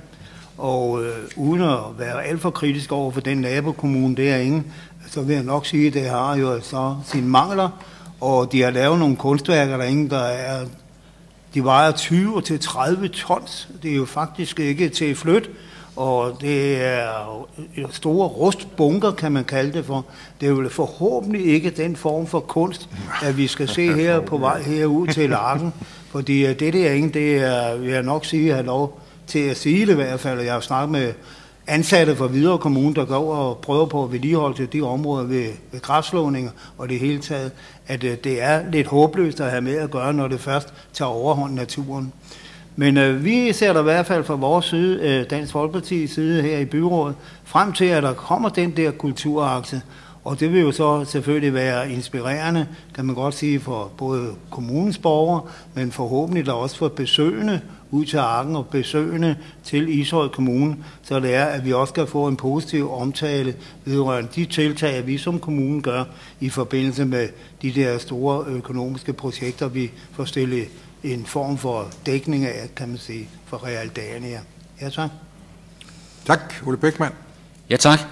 Er det dog ikke vidunderligt, at der er idealister til stede, og det tager lang tid, før man får finansieret et projekt? Det er jo dejligt, at der er fonde, der går ind og støtter nogle projekter, som vi meget gerne vil have. Dejligt. Og fra, fra venstre side, der støtter vi selvfølgelig oplægget her om at etablere den her sådan kunstakse. Og det har vi jo ikke været, været imod på nogle tidspunkter. Men det viser sig jo, at med et hårdt arbejde, så kan det godt lykkes at få tingene igennem. Og det må vi jo som byråd være rigtig glade for. Ikke? Øh, at være, der er nogle idealister, der arbejder på sådan et område. Så det er jo et godt resultat her, og vi håber da også, at vi får øh, de indtægter, der er lagt op til i vores, øh, i vores øh, øh betalingsplan øh, over årene, og øh, ser om det ikke skulle lykkes på en god måde. Tak. Ja, men Ishøj Byråd er meget idealistisk indstillet. men der er jo altså forskel på de her beløb, så 1,5 milliard. Og så siger vi Ole Vedel, værsgo. Ja, øh, det er da dejligt, at øh, der nu kommer videre med kunstaksen. Det har jo været i gang i temmelig mange år efterhånden, og strandet eller stoppet i første omgang med anlægget af Klydens Plads over i øh, Ishøj Centrum. Så det er da dejligt, at der nu sker noget mere. Der er bare lige én ting ved det. Øh, om ikke så voldsomt mange år, så er der en letbanestation derhen øh, ud for vandrehjemmet, og man kunne måske forestille sig, at mange af dem, der kommer fra toget og som skal ned til Arken, de måske lige ville tage letbanen det ene stop og så gå ned der. Så måske var det der, at der skulle laves en kunstakse, eller måske skal der også laves en kunstakse der.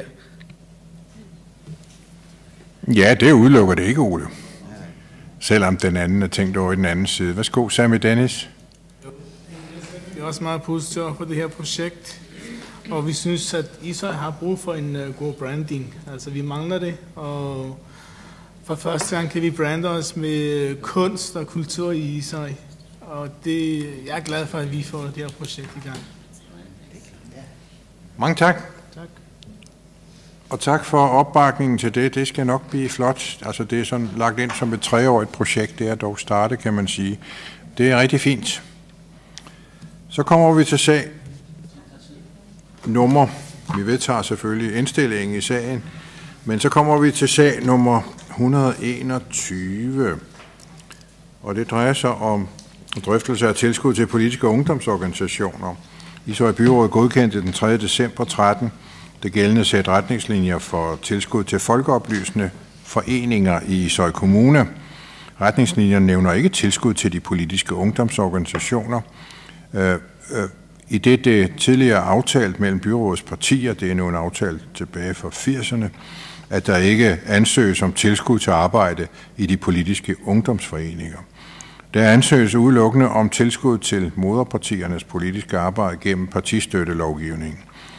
Øh, der ønskes en drøftelse af den tidligere aftale om ikke at søge tilskud til ungdomsorganisationer. Folkeoplysningsloven åbner mulighed for, at der kan ydes tilskud til ungdomsorganisationernes folkeoplysende virksomhed. Og økonomi- og planudvalget indstiller, at der kan ydes til medlemstilskud til ungdomsorganisationernes folkeoplysende virksomhed til medlemmer med fast bopæl i Ishøj. Det var det, der blev diskuteret, øh, fordi øh, ungdomsorganisationerne organiserer meget i distrikter. Men hvis man kunne begrænse til det, der står, så vil der ikke være nogen modvilje mod det. Merete Amdisen. Jeg, øh, jeg er rigtig glad for den indstilling, der ligger for økonomi- og planudvalget, og jeg synes, det er på tide, at vi får øh, lukket den her historiske aftale for 80'erne, og i stedet for for det erstattet af en aftale, der virker sådan en lille smule mere up-to-date. Øh, Momentum de offentliggjorde i går en artikel, hvor de vurderede, at 63 procent af de unge mellem 17 og 24 år, de ikke var klar over, at der var kommunevalg i november i år. Hvis vi skal fremtidssikre vores demokrati, og vi skal have unge til at, øh, og øh, gå med ind og engagere sig politisk, så er vi også nødt til at støtte op om det arbejde, de laver. Og en af måderne, man kan støtte op om det på, det er ved at give dem et økonomisk tilskud, så de rent faktisk har mulighed for at lave nogle aktiviteter. Så jeg er rigtig, rigtig glad for den indstilling, der ligger for økonomi- og planudvalget, og jeg er sikker på, at, øh, at den her indstilling vil betyde, at vi får flere ungdomspolitiske aktive her i, øh, i Ishøj. Og, øh, og det er også en måde at anerkende, at øh, der kommer nye generationer ind i politik, og en dag så skal vi afløses af nogen, og vi skal da helst afløses af nogen, der, der har øh, gået i en god skole og har, øh, har lært det politiske håndværk helt fra bunden af, for eksempel gennem de politiske ungdomsorganisationer. Så jeg håber, at øh, byrådet følger indstillingen for økonomi- og planudvalget. Tak. Lennart Nielsen. Ja, tak. Jamen, øh, jeg synes også, at det her det er en rigtig god indstilling. Kunne I, hvorfor jeg synes det? Der er en lille, en, lille, en lille ting, vi måske lige skal tilføje øh, i den udmærkede tekst, der står dernede, at man skal have, som medlem øh, have fast bopæl i Ishøj Kommune. Det står der. Nej, det står der også. Det står der også. Men der står ikke noget om, at øh, man så godt kunne være medlem af et parti i Brøndby. Der, står, der, skal Der skal rent faktisk stå, at øh, ungdomsorganisationen og medlemmet har tilhørsforhold til Ishøj. Bare stå til ungdomsorganisationens ja. folkeoplysende virksomhed, ja. lokaliseret i Ishøj. Ishøj, ja. Og så fjert det der med medlemmer, for ellers kunne en enkelt medlem få, få, Ja. få tilskud, hvis han har tilhørt en, en politisk organisation i en anden by. Den er ikke Mm, entydig. lad os lige tage... Den er ikke helt entydig, den. Ah, okay, ja, ja. Vores tanke, vores tanke, og, og det ved jeg, vores tanke var jo, at man, som, at man skal være bosiddende som ungdomsmedlem og være tilknyttet ungdomsorganisationen i Ishøj.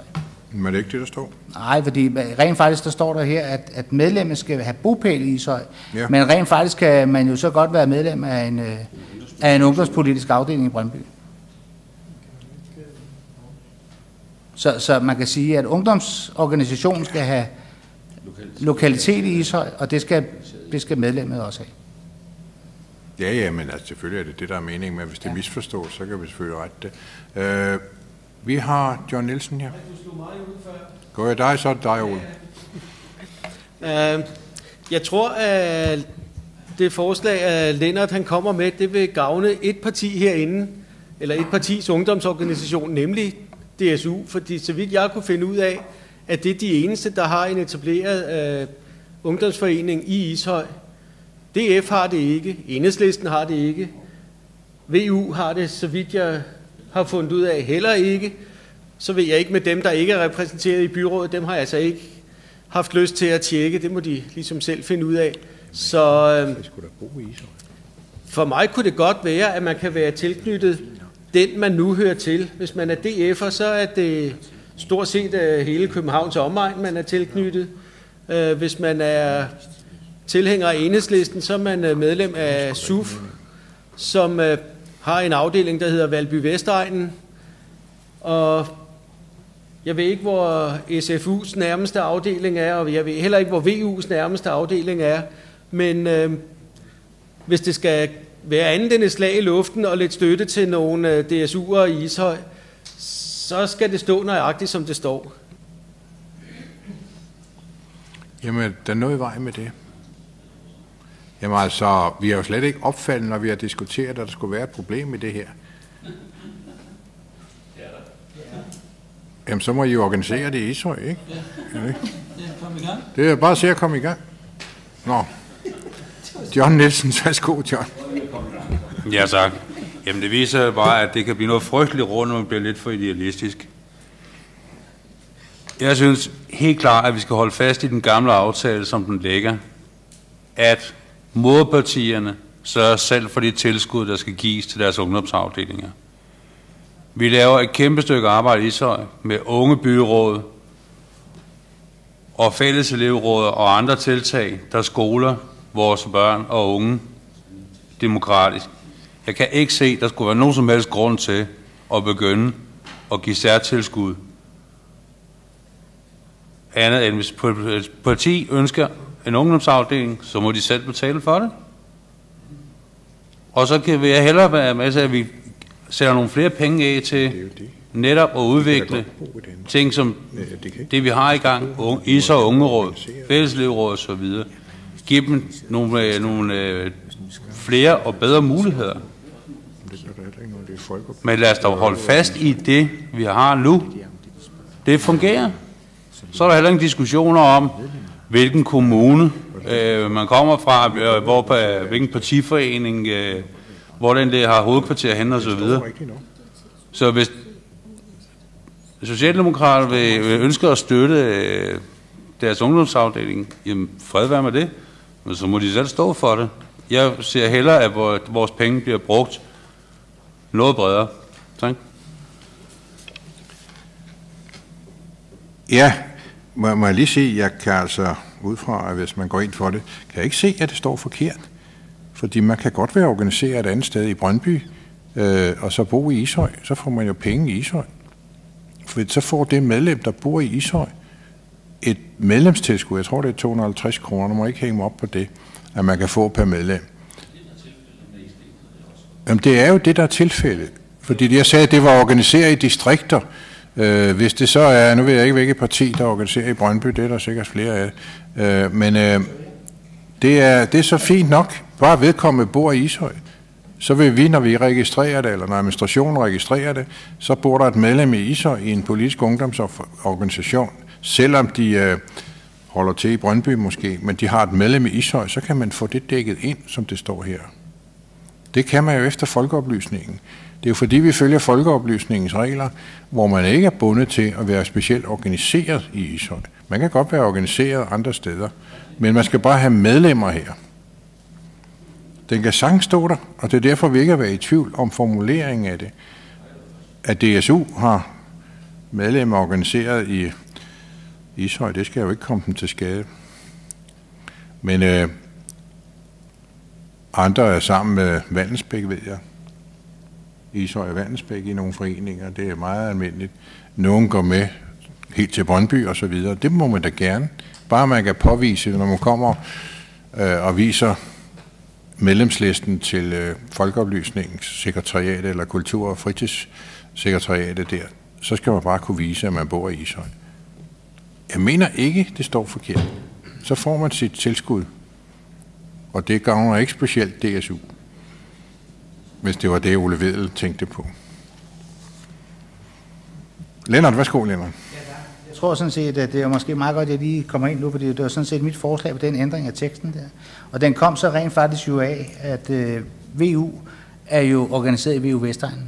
Det gør jeg Og ikke. hvor, nej, nej, men lad mig nu tale færdig. Øh, og snakken, den gik jo på, at øh, det var jo for ikke, at hele VU Vestegnen skulle finansieres via øh, Ishøj Kommunes øh, folkeoplysnings. Det var sådan set derfor, vi skrev, at medlemmet skulle være bosat i Ishøj Kommune. Ja. Er det rigtigt, borgmester?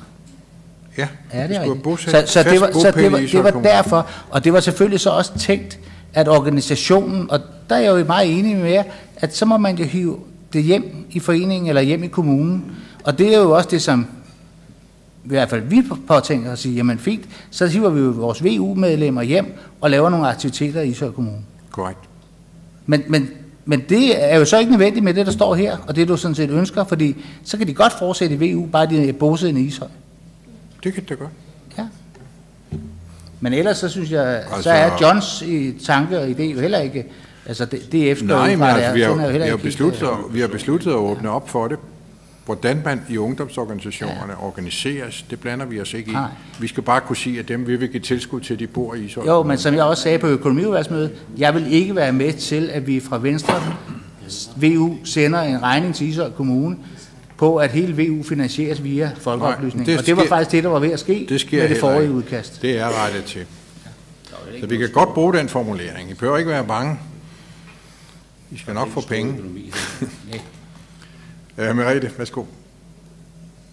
Jeg bliver lidt ærgerlig over den måde, John Nielsen han udlægger det her forslag på, for det handler ikke om, at øh, vi i Socialdemokratiet har et ønske om at finansiere vores lokale DSU-afdeling. Det handler faktisk om, at vi har et ønske om at animere flere unge, uanset politisk overbevisning, til at blive en del af det ungdomspolitiske arbejde. Og vi har ikke øh, noget ønske om, at det kun skal være DSU, der, øh, der kan hæve det her tilskud. Det skal VU, det skal SFU, det skal Enhedslistens øh, ungdomsorganisation, det skal jeres ungdomsorganisation kunne. Det handler bare om og, øh, og styrke hele det ungdomspolitiske arbejde, så vi får dyr, styrket vores lokaldemokrati og får flere unge til at have lyst til at blive en del af det politiske liv. Og det her det er ikke et særtilskud. Det er et tilskud, som lovgivningen åbner mulighed for, at alle kommuner kan give ungdomspolitiske aktive øh, foreninger. Og det har sådan set eksisteret ja, tilbage i 80'erne, dengang man har lavet den her historiske gentleman agreement. Fordi da jeg var DSU-aktiv i 80'erne og 90'erne, der fik vi også lokalpolitisk øh, tilskud øh, fra kommunerne der rundt omkring, hvor vi var medlem. Og det er sådan set øh, egentlig mere Ishøj Kommune, der har haft en, en lidt mystisk aftale, end at det er det her nye, som bliver en mystisk aftale. Jeg synes, vi skal gå med på det. Jeg er rigtig ærgerlig over, at, at DF til synligheden springer for den indstilling, de har været med til at, at lave i, i økonomiudvalget. For jeg synes, det er et godt forslag. Det er et forslag, der er med til at styrke demokratiet i Ishøj. Ja, tak. Ole Hvid. Jeg er glad for borgmesterens præcisering af, at man godt kan være tilknyttet af ungdomsorganisationer i andre kommuner, fordi ellers så var det en lille skare, og så ikke noget om, øh, hvor de hører hjemme, der ville kunne få. Og det er da glædeligt, at det ikke kun er det, for vi har som politikere i Ishøj Byråd, som politikere i partier i Ishøj, en interesse i, at vi får organiseret nogle unge mennesker, der vil interessere sig for politik, og som vil stå parat til at tage over efterhånden, som øh, vi dropper ud af politik. Vi har vores unge byråd en gang om året, vi har Ishøj Ungeråd, vi har faktisk mange aktiviteter i gang. Og det... Nå, den, øh, Den, er, nu ah, er den kom igen. Nu er den på. Der er overgang i møget. Ja, det er der. Øh, men øh, det, der, det vil være helt klart, at øh, hvis vi kan styrke organiseringen af unge mennesker i politisk arbejde ved at give et forholdsvis beskeden tilskud. Jeg har ikke indtryk af, at der er voldsomt mange øh, voksne medlemmer af partierne her i Ishøj, og det vil sige, at der er nok heller ikke så voldsomt mange unge medlemmer af partierne, så jeg tror ikke, det bliver noget, der slår bunden ud af kommunekassen, at vi gør det her. Så lad os da se at komme i gang. Enig? Nej, det er det, jeg kalder småpenge. Øh, Sejt, jeg vil bare sige, at jeg er faktisk lidt undrende, fordi at, øh, da jeg var med til at sige ja til den her, så vidste jeg faktisk ikke, om I havde ungdomsafdelinger eller ej, fordi at det her det er et rigtig godt formål, som kan understøtte og styrke demokratiet. Derfor har vi sagt ja til, at det her unge mennesker det kan få noget støtte til at, at etablere sig og styrke sig til, at det kan komme videre. Og den her, den gælder faktisk for alle partier. Den gælder jo ikke for et bestemt parti. Jeg synes, det er lidt ærgerligt og unfair at sige, at det er DSU, der kommer til at få gavn af den her. Jeg synes, I skal komme i gang, hvis I mangler jeres afdeling af Ishøj her. Det her, den gælder for alle. Den gælder ikke kun for DSU'erne i Ishøj her. Det er faktisk lidt ærgerligt at høre på sådan nogle ting, fordi jeg troede, at det var bare en sag, som vi alle sammen kunne være glade for at sige, hvor er det godt, at vi styrker ungdommen, som kan, som kan komme videre øh, i, i de demokratiske processer. Og jeg kan huske, huske når vi Jeg tror, det er en gang om året, vi har det her unge råd, som kommer til byrådet her og spiller, eller undskyld, øh, øh, ser ud til at være byrådsmedlemmer. I roser alle sammen. Hvor godt er det, at der kommer de her unge mennesker til byrådet. Ej, hvor er det godt, de er engageret og sådan noget. Og så står man og siger sådan nogle ting her. Det harmoniserer slet ikke sammen. Undskyld mig engang. Ja. Tak. Poul Jørgensen. Ja, tak. Jeg vil med det samme sige, at det er fuldstændig rigtigt, hvad Mariette siger, at øh, på plan- og økonomiudvalgsmøde tog jeg ikke øh, afstand eller tilslutning eller noget andet til det. Jeg lå den glide igennem. Men jeg er efter, kan man godt sige, det folkeoplysningsmøde, øh, fået lov til at ligesom revidere min opfattelse af tingene. Der står utryggeligt, at det er til politisk arbejde, ikke? Jo. Ja.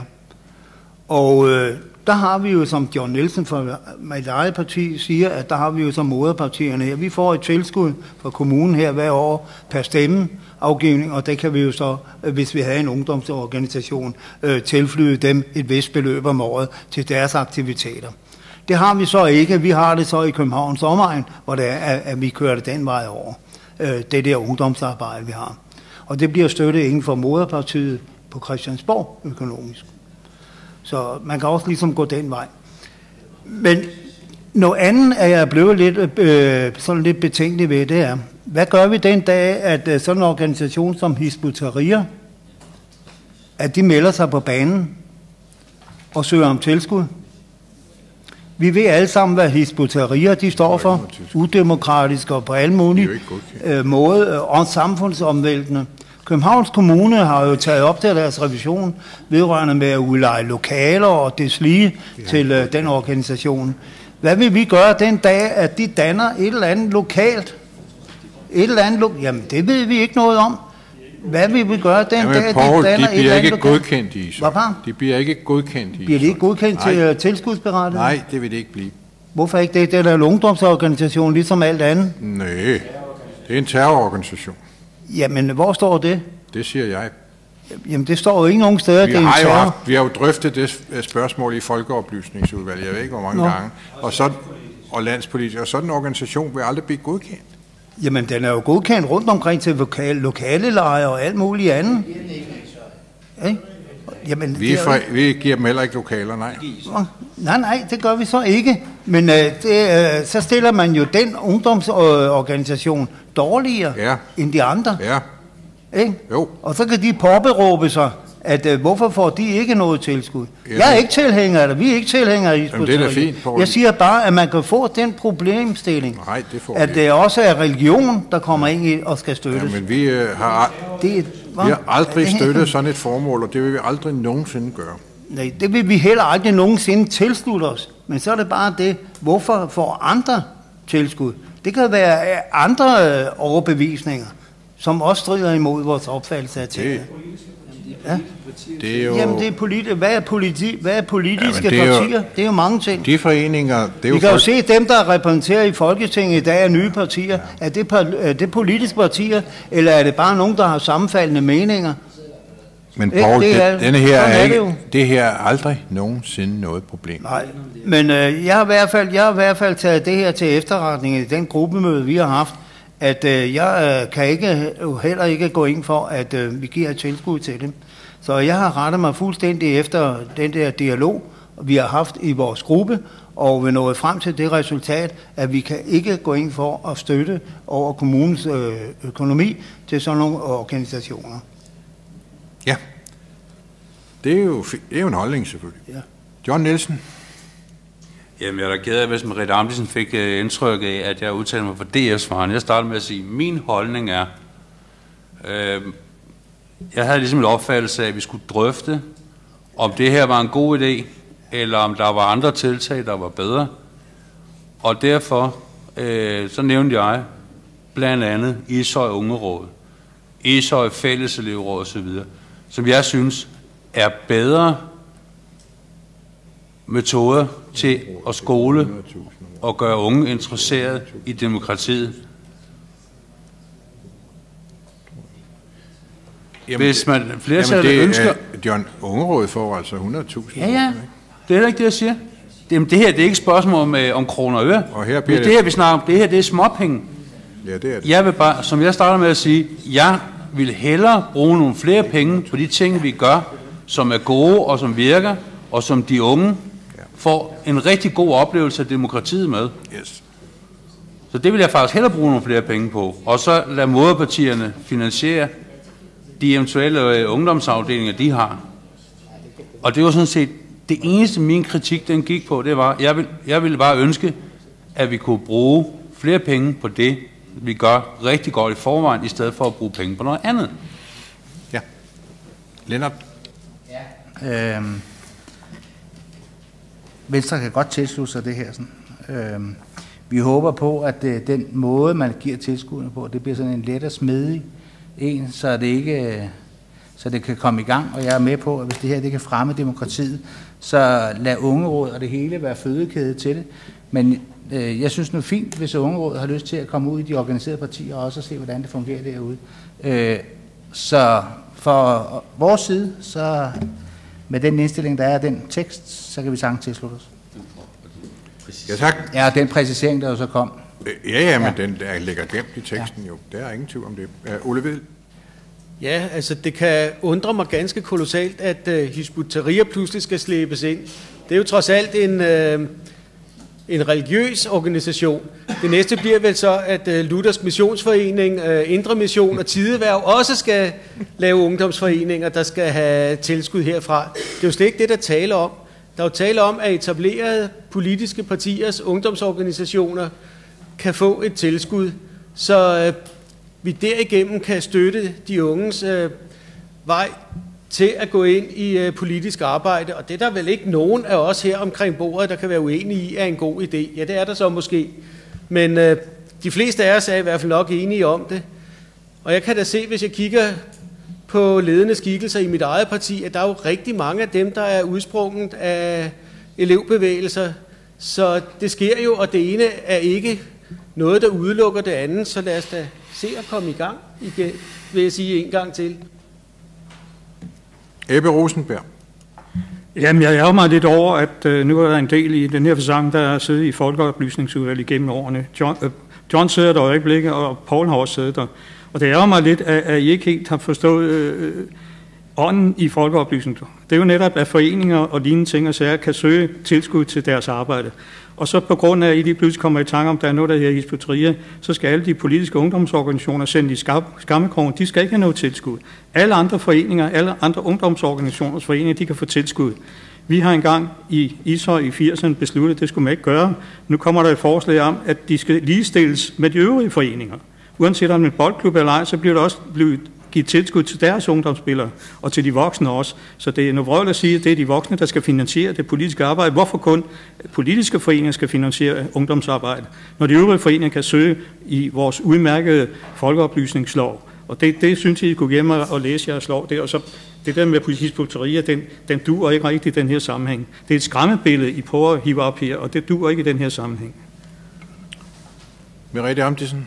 Jeg vil bare tage op, hvor, hvor Ebbe han slap. Jeg synes, det smadrer ærgerligt, at Dansk Folkeparti de tager afstand fra at støtte ungdomspolitiske organisationer i deres demokratiske arbejde, fordi de er bange for, at der måske en dag kommer en antidemokratisk organisation og søger om tilskud. Jeg synes, det her er en rigtig god sag. Det er en sag, der er med til at underbygge demokratiet i Danmark, og selvfølgelig skal vi støtte det. Og er rigtig glad for, at det ser ud til, at alle andre partier her i byrådet, de gerne vil støtte det ungdomspolitiske arbejde. Det, øh, det tegner godt for fremtiden. Janette Mærklin. Ja. Jeg vil bare sige, at et, ja, vi har et ungeråd, og det har vi med vores øh, elever, der har valgt at stille op i vores forskellige elevråd rundt om på skolerne. Og jeg er sikker på, at øh, både elever og forældre kunne godt føle sig lidt trængt, hvis vi sidder og trækker ned over dem og siger, at nu har de politisk valgt et ståsted. For det er slet ikke det, det drejer sig om. Og jeg synes hverken, at vores elevråd, fælles elevråd eller vores ungeråd skal ses på som en politisk organisation. De kan så meget andet. Og ja, nogle af dem kan være en del af en politisk, men det er ikke derfor, at vi har valgt at etablere det.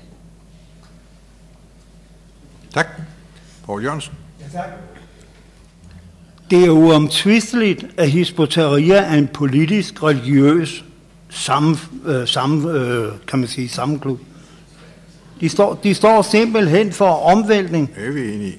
Ja, de står simpelthen for omvæltning af det. Og lige snart det er noget med politisk, der er indført i deres program, det er det jo. Det er en, en politisk, og det er en samfundsomvæltende aktivitet, det vi udfører. Så er de, øh, ud fra den her ansøgning her, så er det jo politisk. Så må man jo tage hensyn til det, og så sige, jamen det er det jo. Det er jo derfor blandt andet, at man har haft de store, og har de store problemer i Københavns Kommune, vedrørende med at lege lokaler ud. Fordi man har jo i vedtægter ikke lov til at udelukke politiske foreninger. Og det er jo derfor, de har fået lov til at være i kommunale bygninger i Københavns Kommune. I får ingen Jamen, de har jo fået lov til at frekventere kommunale øh, lokaler i Københavns Kommune. Nørrebrohallen, er den ikke en øh, kommunal hal? Det er vist ikke privat. Der holder de hele efter det andet store møde, og, og det er med politisk islet fra talerstolen, flettet selvfølgelig med noget religion, fordi at det har en samfundsomstyrtende øh, ideologi, også religiøsmæssigt.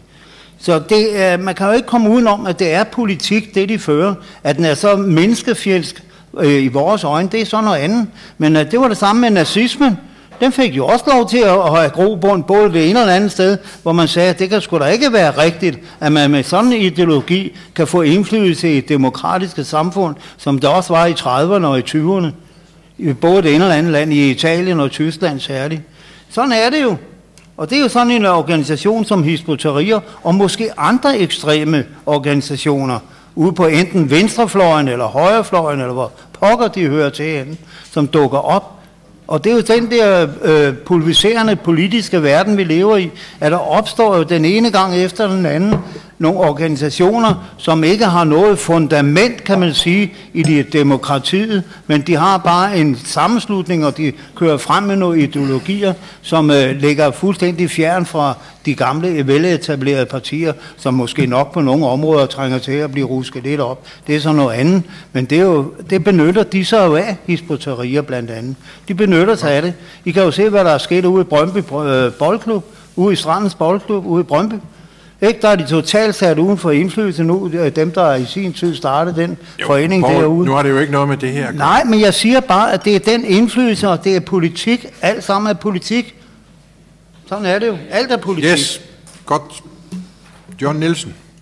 Jamen, det er sådan bare en, en kort replik til Jeanette Mærkling. Altså, der er en ting, jeg ikke bryder mig om, så når folk begynder at lave om på det, jeg siger. Jeg har på intet tidspunkt sagt, at de har taget politisk standpunkt. Jeg sagde, de får en mulighed for at blive, at gøre sig, blive interesseret i den demokratiske proces og det demokratiske arbejde. Det har intet med partipolitik at gøre. Så øh, ja, men nu sagde du, at jeg havde sagt, og det har jeg på intet tidspunkt sagt. Og det er netop det, der gør, at jeg synes, at vores unge råd og de andre tilsætter der bliver lavet, er en rigtig god idé. For det har intet med partipolitik at gøre. Det er kun et spørgsmål om at gøre børn og unge interesseret i demokratiet.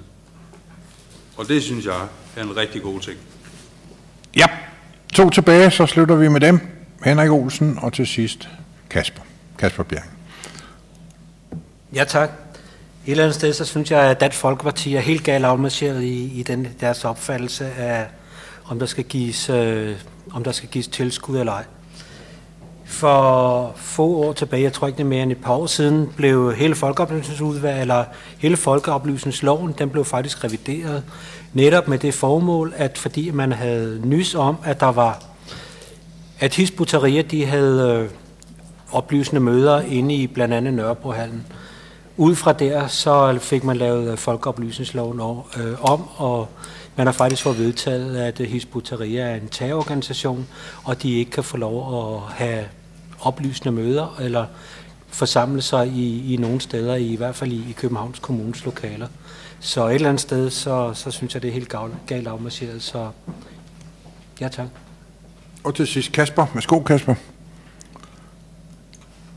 Jamen, jeg synes, Paul kom øh, ret voldsomt omkring sin historiske gennemgang, og helt ned til nazisterne i Tyskland, og hvad ved jeg. Altså, skal vi ikke blive enige om, at det allerbedste værn mod øh, totalitære antidemokrater, det er jo sunde demokratiske organisationer. Det er, at vi opbygger sunde øh, demokratiske ungdomsorganisationer, og det er jo sådan set det, det går ud på. det er at give tilskud til de organisationer, som bygger på et demokratisk fundament, som jo står imod organisationer som for eksempel Hizb ut-Tahrir og andre. Altså, det er sådan, lidt- altså i virkeligheden lidt absurd, at Dan- Dansk Folkeparti og alle partier vil give Hizb ut-Tahrir sådan en slags vetoret overfor, at vi vil støtte sunde danske ungdomsorganisationer. altså, det, jeg synes faktisk, det er ret absurd, Paul. Øh, og jeg, altså, hvis man skulle føre din logik helt ud i ekstremen, så kunne jeg også sige, Hizb ut-Tahrirs medlemmer kører rundt på vores veje. Skal vi lukke vores veje for at forhindre dem i det? Altså, det er da noget mærkeligt noget. Vi skal da ikke nedlægge sunde, veletablerede ting i det danske samfund, fordi der findes en eller anden lille perifær øh, ekstrem organisation, der hedder Hizbut Tahrir. Altså, hvis vi vil give tilskud til danske politiske ungdomsorganisationer, der har medlemmer i Ishøj Kommune, så skal vi sgu da gøre det. Det skal Hizbut Tahrir da ikke forhindre os i. Altså, jeg kan simpelthen ikke følge din logik. Øh, jeg synes, det er helt absurd. Til gengæld synes jeg, det er rigtig, rigtig sund tankegang, at vi øh, støtter øh, politisk arbejde blandt unge mennesker i Ishøj Kommune, også partipolitisk arbejde. Jeg synes faktisk, det er rigtig sundt, at ungdomsorganisationerne er uafhængige af deres moderpartier, og vi er med til at, øh, at give dem et tilskud, som ikke afhænger af, om de så lige er på god fod med den lokale partiforening eller ej.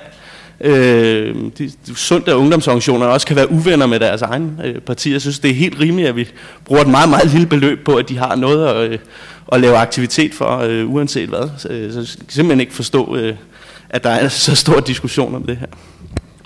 Tak for det. Vi er færdige. Talerlisten er jo lukket, så der er ikke flere, der får ord til denne her sag. Og øh, dermed indstilles det, at øh, vi følger økonomi- og planudvalget, at vi giver disse ungdomsorganisationer mulighed for at få medlemstilskud. Selvfølgelig er det ikke mange penge, men det er mere det principielle i det. Og DF er imod, sådan må jeg opfatte det. Det skriver vi selvfølgelig ind i sagen. Godt. Tak for det. Så kommer vi til sag Øh, børne- og undervisningsudvalget. Det er Janette Mærklin. Det er forhåbentlig noget mere fredeligt noget. Værsgo, værsgo, værsgo Janette. Meget fredeligt, men øh, også rigtig vigtigt. Det er vores øh, fælles overordnede mål for vores dagtilbud her i Isøj efter høringen, som er kommet retur. Børne- og undervisningsudvalget blev på møde 21. november 16 orienteret om udviklingsarbejdet på dagtilbuddet i Især Kommune. Udviklingsarbejdet foregår i tre overordnede parallelle og sammenhængende spor. 1. Systematisk og forskningsinformeret arbejde med god kvalitet i dagtilbud. 2. Ny national pædagogisk læreplan, som vi forventer bliver færdig her i foråret 17. 3. Forskningsinformeret udvikling af ledelse af dagtilbudstilbud. Målet med udviklingsarbejdet er at udvikle et fælles grundlag for dagtilbudene i Ishøj, herunder fælles mål og fælles parametre for god kvalitet og god ledelse af kvalitetsdagtilbud. Dagtilbudslederne har udarbejdet vedhæftede forslag til fælles overordnet mål. Børne- og undervisningsudvalget besluttede på møde den 20. marts at sende forslaget til fælles overordnet mål i høring i dagtilbudenes bestyrelser. De fælles mål har ligeledes været til information og drøftelse i fællesmøde for dagtilbud og skoler. Med udviklingsarbejdet i gang sættes et målrettet og systematisk arbejde med kvalitet i kommunens dagtilbud. Baggrunden er, at dagtilbud af høj kvalitet har en væsentlig betydning for, hvordan børn klarer sig senere i livet. Forskningen viser, at børn, der har gået i et dagtilbud af høj kvalitet, klarer sig bedre i skolen, har færre adfærdsproblemer og generelt trives bedre. Forskningen viser endvidere, at effekten især er stor hos udsatte børn. God kvalitet i Ishøj Kommunes dagtilbud skal forstås som det, der skal ses, gøre en forskel for børnenes udvikling, læring, trivsel og dannelse.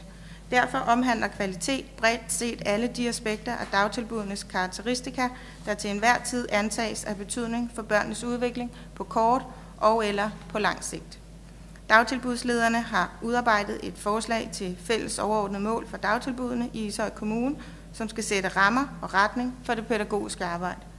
De overordnede mål tager udgangspunkt i dagtilbudslovens formålsparagraf, det nationale pædagogiske grundlag og Ishøj Kommunes vision for arbejdet med børn og unge, vores børne- og ungepolitik.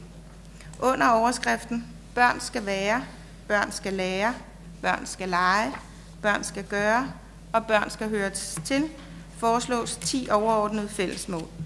Udgangspunkt for målene er et børnesyn, der tager udgangspunkt i, at det at være barn har en værdi i sig selv. Derfor værner vi om børns ret til at være børn, til at være forskellige og til at udvikle sig i forskelligt tempo, således at alle børn får lige muligheder for at nå deres fulde potentiale. Vi har fokus på at drage omsorg for at stimulere og udfordre børnene for at understøtte deres udvikling, læring, trivsel og dannelse. Høringsvejene fra dagtilbudenes bestyrelser samt referat fra fællesmed for dagtilbud og skolers møde øh, den 7. april 17 er vedhæftet. Regnbuen og Tvillingehuset foreslår enkelte ændringer, tilføjelser. De øvrige tiltræder målene med enkelte bemærkninger. Derfor indstiller Børne- og Undervisningsudvalget, at forslaget til fælles overordnet mål for Ishøj Kommunes dagtilbud tiltrædes. Noget af det, som forskningen viser i dag, er, at en tidlig indsats ender op i en livslang effekt. Øh, og det skal vi selvfølgelig lytte til, og det er jo nogle af grundstenene. Så kan man sige, at øh, der er opstillet 10 mål, og øh, der er øh, der er i den ene daginstitution forældre, hvor man har, har øh, bedt om at præcisere øh, det enkelte mål, der hedder, at øh, vi forældre har et medansvar.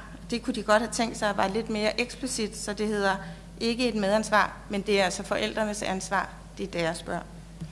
Vi har valgt at tiltræde uden at rette det som et, som et enigt udvalg. Noget af det, som Bøgely har, øh, har pointeret, er, at øh, når vi skal løfte kvaliteten, så er det jo kun kvaliteten af vores øh, børn og, og trivsel og dannelse og medansvar. Det er også, at vi skal kigge på nogle af vores daginstitutioner, som øh, måske godt kunne klare nogle lidt bedre fysiske rammer, vi har i dag. Og, øh, og det, det kan være, at det er noget af det, vi skal kigge på i forbindelse med budgettet på øh, vores øh, drift og anlæg, om vi kan kigge på nogle af vores dagtilbud, måske også ønsker og trænger til et fysisk løft i kommunen. Der er nogle af vores dagtilbud, som øh, hvad skal man sige, ser ud som fra dengang, hvor de blev bygget, øh, og det kan være et par årtier. Øhm. Ja, jeg tror faktisk ikke, jeg vil sige mere. Ja, tak skal du have. Kalby Jøksel. Ja, øhm, tak. I SF, der synes vi, det er en rigtig god tiltag. Især når man helt starter faktisk fra dagtilbud, fordi vi ved, at vores unge har det ikke godt med skolegangen.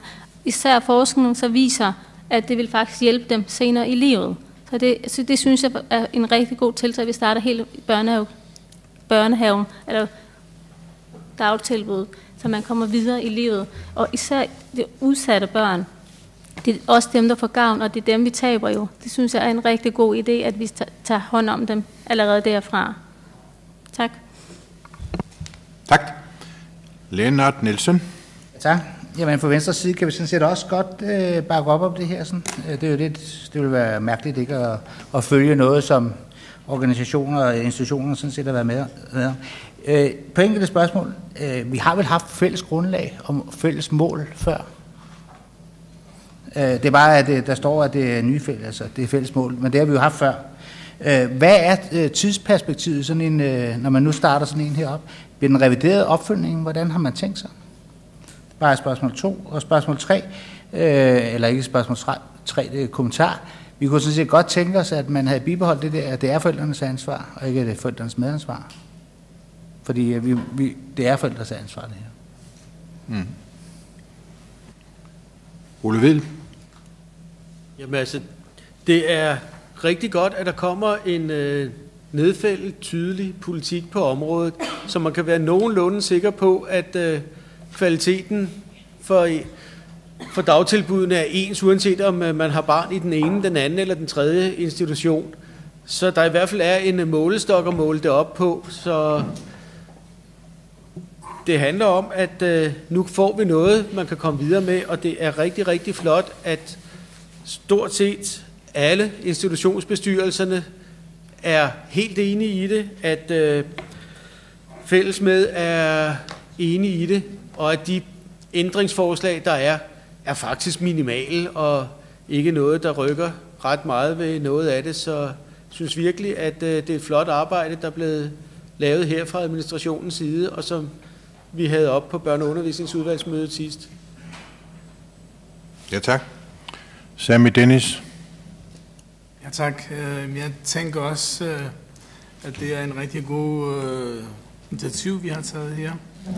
Men øh, i forhold til de fysiske rammer, der tænker vi også, altså det, det spiller jo en stor rolle, at man har de rigtige fysiske rammer, for at man kan udfolde sig i, på institutioner, og, og de pædagogiske rammer, de er der også, for at man kan udvikle børnene. Så det, det synes jeg er vigtigt, at man kigger på. Men samtidig tænker jeg også på normeringen af vores øh, institutioner. Altså, hvor mange pædagoger har vi per barn? Øh, det kunne man også tænke, tænke lidt på og se på, kan man gøre noget andet øh, end den nummering, der er på institutionerne? og så kunne man forbedre normeringen på institutionerne.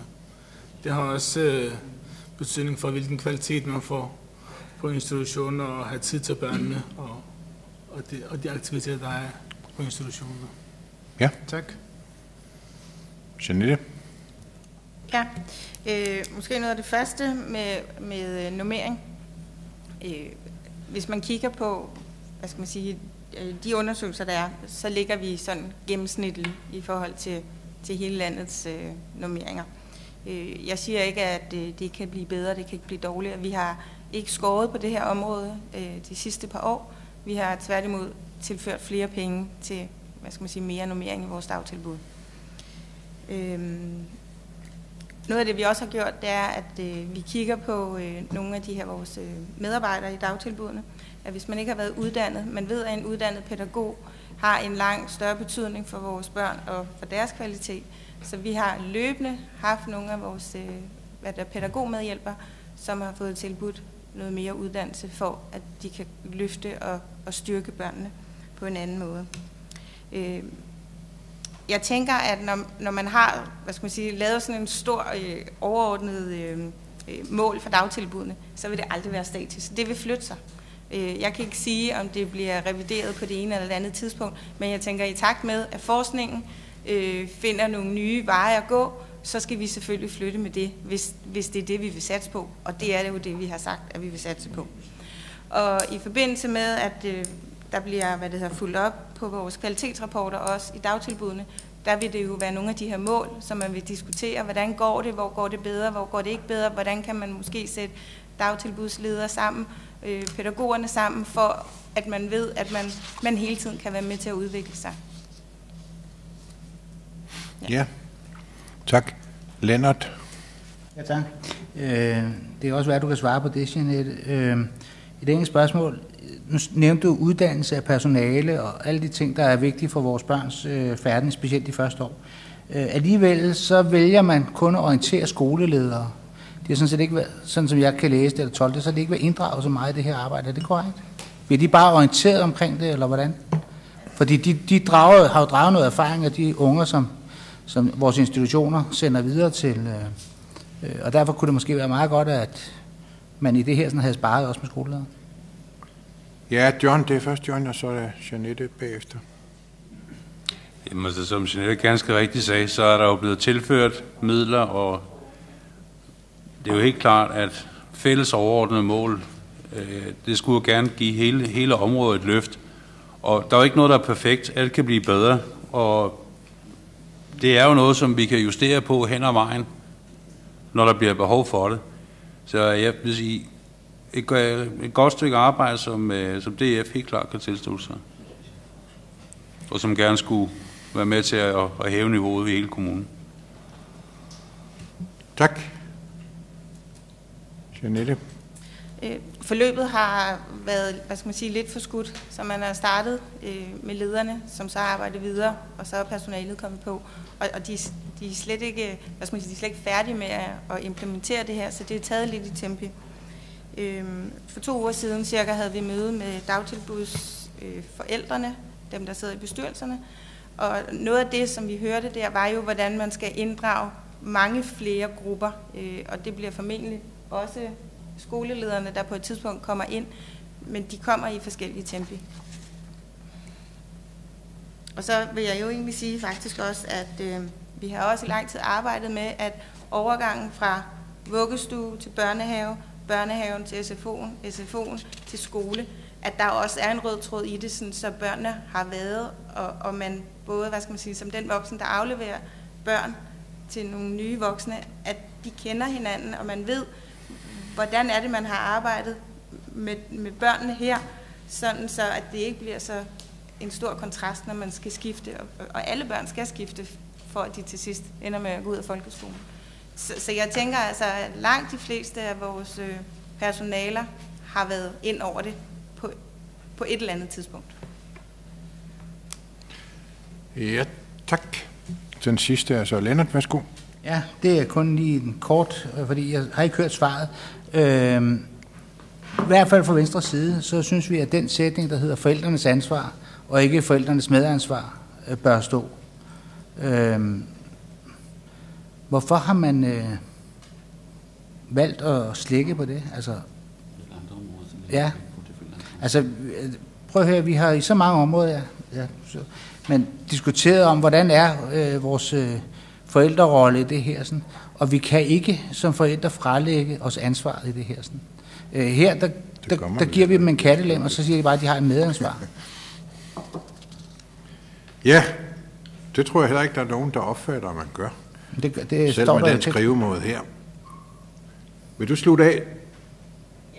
Jeg kan ikke se nogen problemer i det, men du jeg må vil gerne sige- svare på det. Nej, og jeg vil sige, at der er jo ingen tvivl om, at det er forældrenes ansvar for deres egen børn. Tja, fordi at jeg tænker, at, at man siger, at man har et medansvar, så fortæller det også noget med, at man samarbejder sammen. Ja.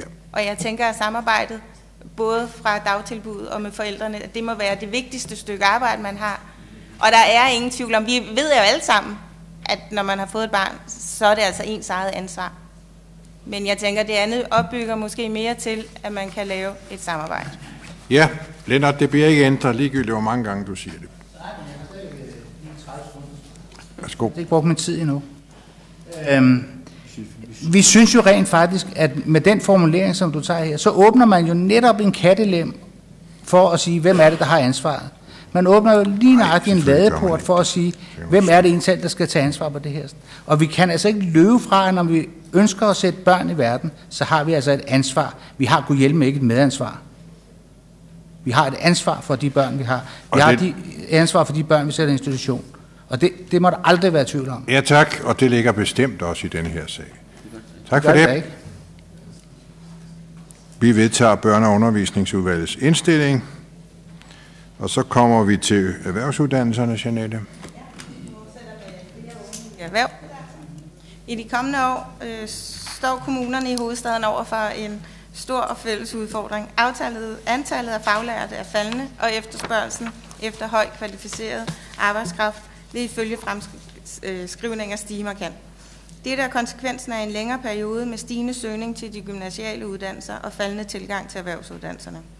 Regeringen har formuleret en national målsætning om, at andelen af elever, der vælger en erhvervsuddannelse direkte efter 9. eller 10. klasse, skal op på 25 procent i 2020, og andelen skal øges til mindst 30 procent i 2025.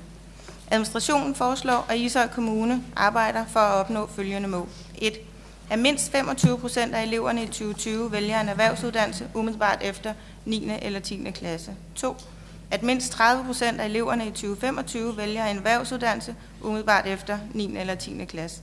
For at nå disse mål, så vil vi bygge videre på erfaringerne fra udviklingsarbejdet Young Skills, klædt på til en erhvervsuddannelse, der havde til formål at styrke de unges afklaring om uddannelsesvalg og skabe en glidende overgang mellem grundskolerne og erhvervsuddannelserne ved at styrke samarbejdet med forældrene, at give de unge konkrete billeder af, hvad EUD indebærer, at skabe tættere samarbejde og større sammenhæng i undervisningen mellem grundskolerne og erhvervsuddannelserne, at styrke vejledningen i grundskolen, herunder lærernes kendskab til EUD, at arbejde på, at 10. klasse ikke er afslutningen på en grundskole, men indgangen til en ungdomsuddannelse. Fortsat satse på klar til uddannelsesforløb og løbende lære af de gode resultater, der er skabt i dette projekt. Arbejde på, at der kan etableres det nødvendige antal relevante lærepladser til de unge. I 2017 er der 22,5 procent af Ishøj Kommunes unge, der vælger en erhvervsuddannelse direkte efter 9. eller 10. klasse. FTU-tallene, fælles tilmelding uddannelse for 2007, er vedhæftet til orientering. KKR Hovedstaden og KL har i samarbejde udarbejdet et rammepapir, papir, hvor i der beskrives handlinger, der skal hjælpe kommunerne med at opnå regeringens målsætning. Borgmesterne i KKR Hovedstaden har vedtaget at følge anvisningerne i rammepapiret, som er vedhæftet orienteringen. Børne- og undervisningsudvalget indstiller, at målsætningen for Ishøj er, at mindst 25 procent af eleverne i 2020 vælger en erhvervsuddannelse umiddelbart efter 9. eller 10. klasse, og at mindst 30 procent af eleverne i 2025 vælger en erhvervsuddannelse umiddelbart efter 9. eller 10. klasse. Udvalget henleder opmærksomheden på, at en øget frekvens til ungdomsuddannelsen betyder en reduktion i tilgangen til de gymnasiale uddannelser til mellem 60 og 65 procent. Udvalget ønsker, at der etableres et øget samarbejde mellem folkeskolerne og det lokale erhvervsliv med henblik på større kendskab til erhvervsuddannelserne. Øh, man kan sige, at øh, et øget samarbejde mellem folkeskolerne falder lige ned i folkeskolereformen, hvor vi har noget, der hedder åben skole. Og der er ingen tvivl om, at vi viser, at er kommet rigtig langt med folkeskolereformen, og at den åbne skole, det er noget, der stadigvæk er nyt for rigtig mange, men vi er i gang, og det bliver helt sikkert også en øjenåbner for, at der findes andet end gymnasiale uddannelser, og at man skal vælge EUD langt tidligere. Noget af det, vi har diskuteret, er, om øh, man måske i forbindelse med valgfag kan øge øh, synligheden af EUD, og hvad er en øh, ungdomsuddannelse. Og vi har fag i skolen, der hedder uddannelse og job. Det kunne være med til det. Vi har skills fra vores young skills. Vi har brobygning. Øh, den åbne skole. Vi har øh, folk, hvad hedder det, vi har skoleledere i Ishøj, som har etableret samarbejde med vores erhvervsvirksomhed. Og jeg tænker, at det, det, det, det kommer. Det kommer lige så langsomt, øh, men det er helt sikkert, det er den vej, vi skal. Øh, ja. Tak. Lennart? Det var en fejl fra sidst. Ja, okay. Der er ingen bemærkninger. Jo, Ole Vedel, værsgo. Ja, jamen, jeg vil godt gribe fat i Jeanettes sidste bemærkning, at det kommer, og det er jeg helt sikker på, det gør. Og det kommer bedre, hvis vi øh, støtter op om det, som vi gør med det her tiltag. Fordi det er vigtigt, at øh, vi ikke om øh, 10-20 år skal til at have alle håndværkere fra Polen og alle mulige andre steder for at få lavet, repareret vores vandhane osv. Fordi hvis det fortsætter, som det går nu, så bliver de jo alle sammen arbejdsløse akademikere, for dem er der jo ikke arbejde til. Og så står vi og mangler håndværkerne bagefter. Så jeg synes, det er et rigtig godt uh, tiltag, vi tager her, og det er rigtig vigtigt, at vi løbende følger op på det og justerer det. Fordi det her, det er fint nok i dag, men er det fint nok om et år, om to, om fem? Så det her er noget, som vi ikke bare må hvile på, men øh, tage fat i og justere på hele tiden. Tak for det. Der er fuldstændig enighed om denne her sag, så vi følger udvalgets indstilling. Tak for det. Social- og Sundhedsudvalget 124, Marie Amtisen. Så håber jeg at også, der kan blive fuldstændig enighed om, om den her sag, som handler om Ishøj Kommunes fremtidige deltagelse i det øh, øh arrangement, der hedder Shared Care. Ishøj Kommune har siden 2015 deltaget i et tværsektorielt samarbejde, som hedder Shared Care. Kontrakten udløber den 31. december og står derfor over for en genforhandling. Administrationen anbefaler i den forbindelse, at Ishøj Kommune ikke forlænger kontrakten. Shared Care er et samarbejde indgået mellem Socialpsykiatrien, Behandlingspsykiatrien og praktiserende læger på Vestegnen. De deltagende aktører er Alberslund, Glostrup, Ishøj, Højtrøstrup, Rødovre og Brøndby Kommuner, samt Psykiatrisk Center Glostrup og praktiserende læger i området. Shared Care er forankret på Psykiatrisk Center Glostrup, hvor der er ansat en projektmedarbejder, som er togholder. Projektet finansieres via en fordelingsnøgle mellem deltagende aktører. Shared Care startede som et projekt i 2013 med det primære fokus at igangsætte og fastholde arbejdet med sundhed og sundhedsfremme for psykisk sårbare borgere. I regi af Shared Care udbydes diverse sundheds- og idrætsaktiviteter. Der satses derudover på, at der i fremtiden kan forskes i sundhedsfremmende aktiviteter. Center for Ældre og Rehabilitering, Kløveringen og Handicap og Psykiatri under Center for Social Service har deltaget siden opstarten. Både styre og arbejdsgruppen mødes seks gange årligt. Det koster aktuelt 77.000 øh, for deltagelse i en toårig periode for Ishøj Kommune. I forbindelse med den kommende kontraktfornyelse er det blevet oplyst, at der forventes at være en prisstigning på deltagelse, og forventningen er, at det fremadrettet vil koste 150.000 kroner per år for Ishøj Kommune. I forbindelse med genforhandling af kontrakten har Ishøj Kommune undersøgt brugen af shared care, og vurderet, at tilslutningen til de udbudte aktiviteter er minimal. Af fremmødestatistikken for 2016 fremgår det, at der i hele 2016 har været tre Ishøj Vandensbæk borgere, der har deltaget i aktiviteterne.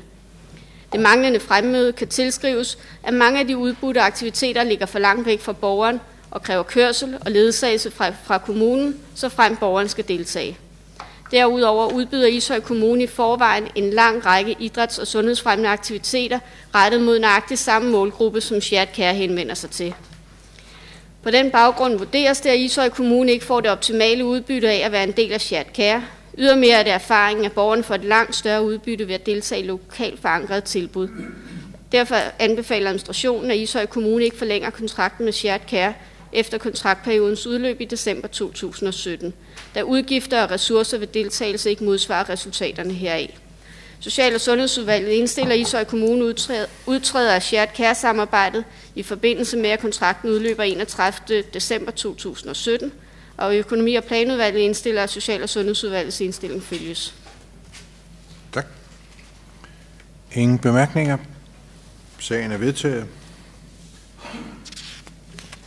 Så kommer vi til sag nummer 125, så er det teknik- og bygningsudvalget. Værsgo, Poul. Ja, tak. Det er 125, det er høringssvar til forslag til Fingerplan 2017. Og der er et resume. resume. Forslaget til Fingerplan 2017 er blevet offentliggjort og sendt i høring. Forslaget er en revision af den gældende Fingerplan 2013, landsplandirektiv for hovedstadsområdets planlægning. Administrationen har udarbejdet et høringssvar, som fremlægges til politisk godkendelse. Og der er sagsfremstilling. Erhvervsstyrelsen sendte den 3. april 17 forslag til Fingerplan 2017 i høring indtil den 29. maj 17. I lighed med den igangværende modernisering af planloven har revisionen til formål at give kommuner, virksomheder og borgere mere frihed til at skabe vækst og udvikling under fortsat hensyntagen til natur og miljø. Erhvervsstyrelsen har lagt op til to revisioner af fingerplanen. Det igangværende i gangværende spor 1 med fokus på afgrænsede ændringer af fingerplanen og et efterfølgende spor 2, hvor der skal afdækkes, om der er behov for mere grundlæggende ændringer af fingerplanens bestemmelser. Høringen angår spor 1. Forslag af en revision af Fingerplan 2013, landsplandirektiv for hovedsagsområdets planlægning. Grundet høringsfristen den 29. maj indstillelse af høringsbrevet på baggrund af en godkendelse af økonomi- og planudvalget indsendes til Erhvervsstyrelsen med forbehold for en endelig godkendelse af Ishøj Byråd den 6. juni 2017.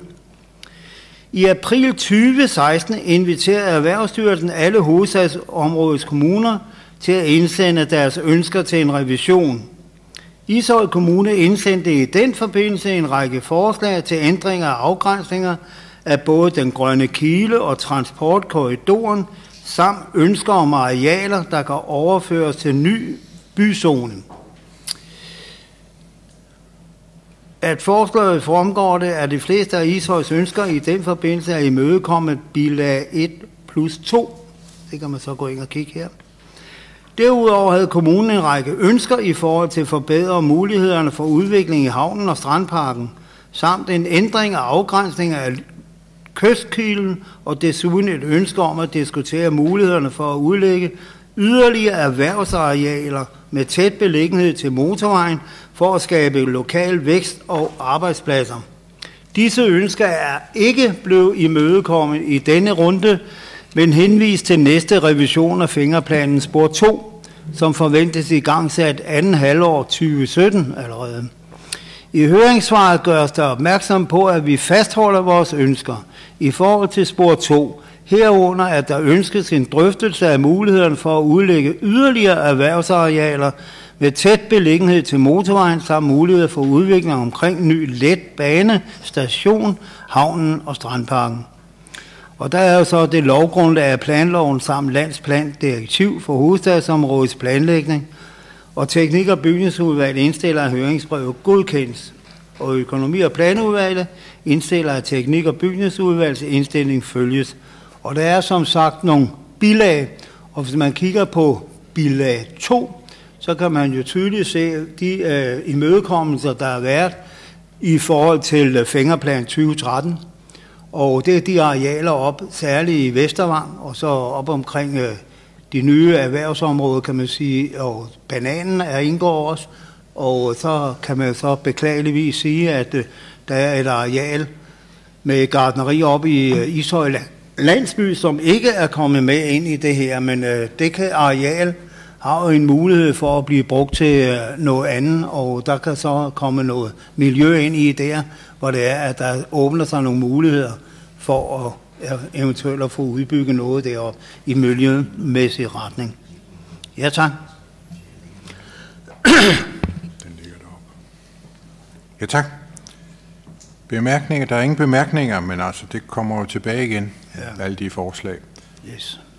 Så vedtager vi sagerne og indstillingerne og afventer videre forløb. Næste sag, 126, på. Ja, skal lige have den her med. Den kører lidt langsomt. Har vi ikke fået hastigheden? Nå. Okay, det er så sag 126.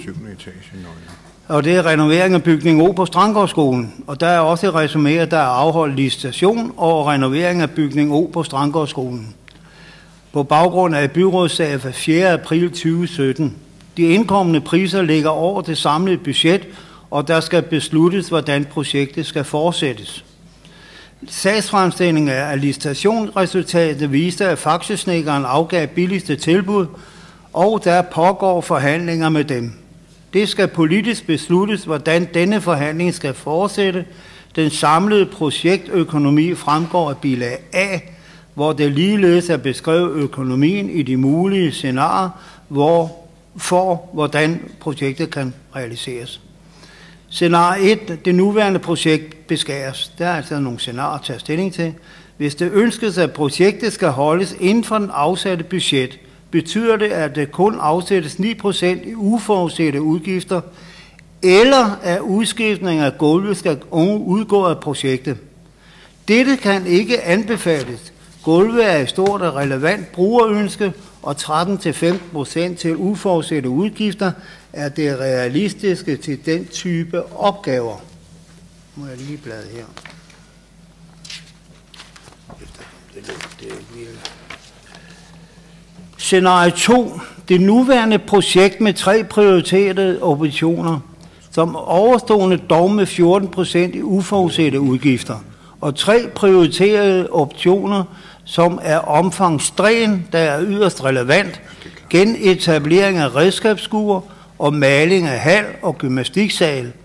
Dette scenarie giver en mereudgift i projektet på ca. 1,8 millioner kroner. Så er der scenarie 3, det nuværende projekt og alle operationer. Den fulde model, inklusiv overstående scenarie 2, og alle operationer, det vil sige nye lofter, nyt tredje øh, fællesrum, maling af resterende lokaler. Dette scenarie giver en mereudgift i projektet på ca. 4 millioner kroner. Teknik- og bygningsudvalget bedes drøfte og indstille, hvilke scenarier, der skal arbejdes videre ud fra.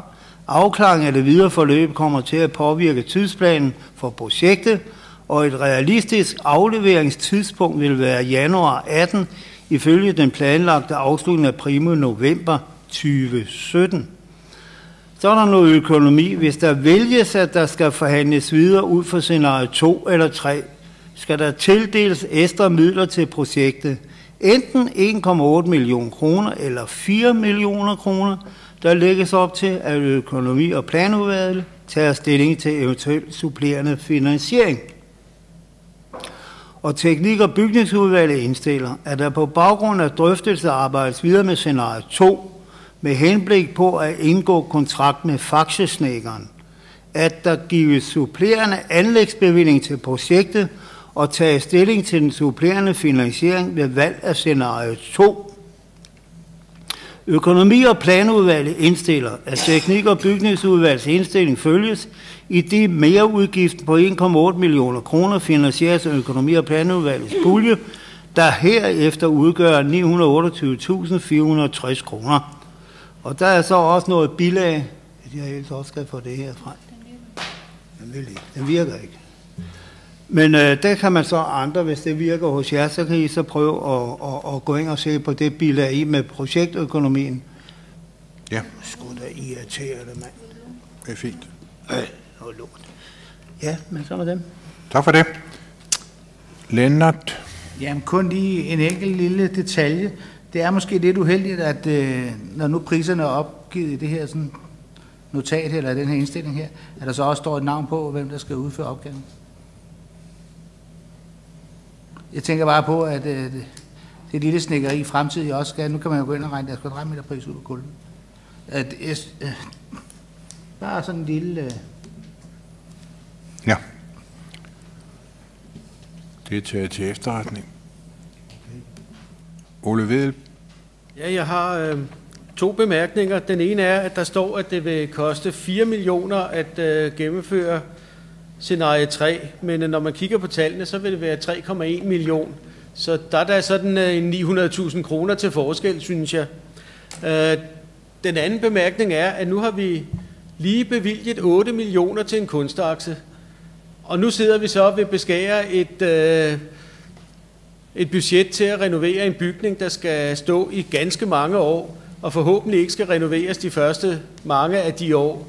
Så øh, skulle vi ikke være lidt mere visionære og få taget proppen af og beslutte det, det øh, fulde øh, scenarie 2, 3, og så øh, finde ud af, hvordan vi vil finansiere det, fordi det bliver jo ikke over den pulje, som, øh, som er nævnt, men øh, der må være andre finansieringsmuligheder, som jeg ikke har været inde at kigge på, men øh, det er jeg overbevist om, at hvis man løber budgettet og budgetopfølgningen igennem, så vil man sikkert kunne finde pengene i det. Andre bemærkninger? Det er ikke tilfælde. Skal du have en særindstilling på det? Jeg tror, alt er forsøgt at finde. Ovenkøbet, men nogen vil gerne tømme økonomiudvalgets pulje, så der, så der ikke kan gøres mere godt resten af året. Jamen altså, der er mange kreative forslag her. Ikke? mm. Så det kan vi nok ikke imødekomme, Ole. Alt er jo endevendt, desværre. Men ellers er det, med de bemærkninger, så er det jo, vedtager vi udvalgenes indstilling i sagen, og dermed er sagen jo afsluttet. Så kan bygning O jo bygges ned på Strankerskolen, ellers vil vi have store problemer. Vi kommer til ekstra udgifter til svømmehal 127 Poul. Ja, det er som sagt 127 sag, og det er svømmehal afslutning af anlægsprojekt. Og der er også et resumé, det svømmehalsprojekt er tæt på at være færdigt. Det skulle så det er at være færdigt, pt. Der er i den sidste del af ombygningsperioden været rigtig mange mindre og enkelte større efterregninger siden sidste mere bevilling. Dette medfører en overskridelse af anlægsbudgettet på 2,65 millioner kroner. I den sidste periode af svømmehalsopbygningen har der været fokus på færdiggørelsen af ombygninger både fra entreprenørside og rådgiverside. der er pågået fra januar til april under maksimal tidsret med håndværker på pladsen syv dage om ugen. I denne fase er der udført en blanding af mange mindre uforudsete opgaver, som ikke har været ordentligt beskrevet i projektmaterialet og nødvendige vedligeholdelsesarbejder, der måtte fremskydes til udførelse samtidig med projektet. Primært inden for beton, VVS og el. Det har ikke været muligt at presse på for færdiggørelsen og bevare overblikket over budgettet i denne periode. Det er simpelthen på de vanskeligheder, man steder frem til efter renoveringen. Det kan man ikke sætte pris på, før det faktisk er udført. Og dermed bliver der en bundlinje. Økonomi samlet set ender svømmehalsombygningen med mere forbrug på 2,65 millioner, ud over det bevilgede. De samlede uforudsete udgifter ender på ca. 37 procent. Som det fremgår i bilag A, dækker de uforudsete udgifter over en blanding af reelle uforudsete udgifter til beton, VVS, el og mure og vandbehandlingsarbejder, samt ekstraordinære udgifter til blandt andet Forsering ifølge tidsplan beton og vandbehandling 500.000. Lovpligtig udskiftning af spabad ca. 450.000. Malerarbejde med videre i hallen, omklædning og fællesarealer. Dette for, at svømmehallen kunne fremstå nyrenoveret. Cirka 1,4 millioner. Etablering af ekstra elkapacitet 500.000 kroner. Arbejder i og omkring motionsrum cirka 250.000 kroner. Og det giver så teknik- og ud, bygningsudvalget indstiller, at budgetoverskridelsen tages til efterretning at der gives supplerende anlægsbevilling til mereudgift på 2,65 millioner. Økonomi- og planudvalget indstiller, at teknik- og bygningsudvalgets indstilling følges, i det merudgiften på 2,65 millioner finansieres af kassebeholdningen. Og der er så et bilag A notat vedrørende overskrivelser. Ja, tak. Ja, mange tak. Så skulle den også være betalt. Det skulle man mene. Og mere til. Værsgo, Lennart. Tak for det. Ja, øh, her har vi jo en sag, øh, der virkelig er løbet løbsk. Øh, da vi for halvanden år siden startede på den her sag her og begyndte at snakke om den, øh, der fik vi som byrådsmedlemmer at vide, at det ville koste cirka i omegnen af 31 millioner kroner at lave den her svømmehal. Så afsatte vi et ekstra pulje på 15 procent, som svarer til cirka 5 millioner. Og så var vi sikre på, at det her sådan, det skulle nok være nok til at få renoveret vores svømmehal. Det har så vist sig, at der er kommet nogle ekstra omkostninger, og det, og det er jo fair nok, hvis bunden skal udskiftes og alt det, og det er det, der har vist sig. Det der lige sådan øh, nu, når svømmehallen har været lukket i 8 måneder, så undrer det mig, at man pludselig har her en forsering i forhold til tidsplanen, beton og vandbehandling på en halv million. Altså, hvad er det, at man ikke kan rykke en dato, når man nu har skudt det så mange gange? Hvad er det lige nøjagtigt, der er så presserende for, at man skal holde en åbning? Og hvem, hvem træffer beslutningen om det her? Øh, det kunne jeg egentlig godt lide at vide. Så stillede jeg på økonomiudvalget. Der stillede jeg, fordi jeg sådan set ude i byen havde hørt, at øh, selvom at vi nu har noget, der minder om noget, der hedder et færdigt resultat her, så var der stadigvæk nogle mangler og nogle investeringer, som ikke var blevet gjort. Og det har jeg bedt om at få en oversigt over. Det er jo ikke det, der er her, fordi det er ikke de ting, der er nævnt, som jeg havde hørt. Den venter jeg stadigvæk på, det håber jeg på kommer. Og hvor, og hvor stort beløb det egentlig er, som der mangler, før svømmehallen er færdig. Fordi sådan som jeg sidder og læser det her, så skulle svømmehallen være færdig nu. Ja, der bliver lavet en opgørelse over de små arbejder, der mangler. for det. Øh, Poul Jørgensen? Ja, tak. Ja, men altså, der er jo også en regnskabsforklaring, kan man sige, på de overskrivelser. Hvis man går ind og kigger på dem, det er bilag A notat vedrørende overskrivelser, ikke? Og der kan man se, at det er fuldstændig specificeret ud jo, med beton, elarbejde, VVS-arbejde, sluttilpasninger og økonomi. Og når man kigger på de enkelte punkter, så er vi os, der bare har haft en lille smule føling med, øh, hvad det vil sige at være håndværker, så er det jo så nogle problemstillinger, der skal tages stilling til løbende. Så ikke når man møder et problem, og så man springer over det for at udføre det, man oprindeligt kom til. Hvis det er efterfølgende, at det problem, man mødte, har nogle uheldige indflydelser på det stykke arbejde, som man oprindeligt skulle gøre. Og sådan er det under renoveringer. Og sådan er det også ude i privaten. Hvis du skal renovere noget hjemme i privaten, så kan du også godt støde på noget under køkkenbord, eller under håndvask, eller noget andet. Toiletter, kælder, eller noget andet. Sådan er det. Og det her, det er kørt knivskarpt. Der har været tilsyn på vedrørende hvordan med økonomi. Det har det gjort, fordi øh, man har godt nok ikke stået dernede, selvom nu blev boret det hul til den rørgennemføring. Det har man ikke, men det er selvfølgelig blevet foretaget. Det er jo logik. Ellers bliver regningen jo ikke øh, fremsendt. Sådan er det. Og øh, vedrørende så store projekter som dette år, som vi har klaget over den ene gang efter den anden, at der har været nogle ting, som ikke rigtig har været up to date, der har vi så blandt andet vandbehandlingsanlæg. Ikke? Det har jo også været en kæmpe udgift, kan man sige, vedrørende med at få et nyt vandbehandlingsanlæg. Det var noget lovgivningsmæssigt, at der lige pludselig blev os pålagt, at det skulle vi så have. Ikke? Og sådan er der forskellige ting, så hvis det er, at man stiller sig forbavsende over, at der kan være overskridelser i, det der, i den størrelsesorden her, så er det som sagt fordi, at øh, man ikke rigtig vil dykke ind i og se, hvad det er specifikt, at det er drejer sig om. Og det skal man tage at gøre sig den ulejlighed. Ja, tak. øh, Lennart igen.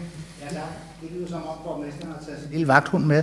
Øh, jeg har sådan set overhovedet ikke stillet spørgsmålstegn ved noget som helst i det her. Jeg stiller bare spørgsmål om forsering i forhold til tidsplan. Øh, jeg har overhovedet ikke øh, spurgt til noget af det andet. Jeg har bare spurgt på, hvem har beordret, at vi skal lave en forsering i forhold til en tidsplan. Det koster altså 500.000. En halv million på måske at rykke en dato. Det, det er sådan set det, der står her. Jeg har overhovedet ikke stillet noget spørgsmål ved den her svømmehal. Nej. Og sagt noget om de udgifter. Det har jeg faktisk tilsluttet mig. Jeg siger bare, at jeg kan se, der er her en forsering. Efter 8 måneders lukning af en svømmehal, så skal det partout åbne den dag, og ikke om 8 dage. Ja, og det er borgmesteren, der siger det. Så fik jeg svaret. Tak for det. Henrik Olsen? Ja, tak. Vi har haft med en svømmehal at gøre her, som er netop er åbnet her i april med en ukendt faktor. Og øh, det at skulle bryde hele svømmehallen ned faktisk og rive alle bassinerne op, var jo faktisk net, netop en ukendt faktor. Vi vidste faktisk ikke, hvad der var inde under bassinerne, og hvad der var under de glasfiber halvøjer, som, som øh, bassinerne nu engang udgjorde. At det stod så slemt til, det var der nok ikke så mange, der, der havde troet, at siderne på, på bassinerne, de faktisk var lige til at kassere, og de måtte faktisk brydes ned. Det var jo faktisk øh, ganske gruopvækkende. Men en lige så stor x-faktor, det var jo også, at bunden i det store 50 liter bassin, der vidste vi faktisk ikke tilstanden på, om det var godt eller det var dårligt. Heldigvis så, øh, så var bunden heldigvis så god, så vi kunne redde det, og vi, vi kunne genanvende den igen. Så alt i alt synes jeg, når vi ser så en mere, en mere forbrug på 2,65 millioner, så synes jeg, når vi har sagt A, så må vi også sige B. Så, så et eller andet sted, så, så er jeg glad for det resultat, vi, vi er nået frem til over i, i svømmehallen. Ja, tak. Ja, tak. Ikke flere bemærkninger. Vi godkender indstillingerne i sagen og glæder os over, at svømmehallen er i gang. Så kommer vi til sag 128, det er åbne efterretningssager. Det er sagerne 129 til 133. Jeg skal spørge, om der er bemærkninger til sagen. Sagerne. Det er ikke tilfælde. Så slutter vi behandlingen af sagerne i aften. Alle tilhørende er jo gået hjem. Og jeg siger tak til seerne på TV Ishøj. Tak til byrådsmedlemmerne. Tak for i aften.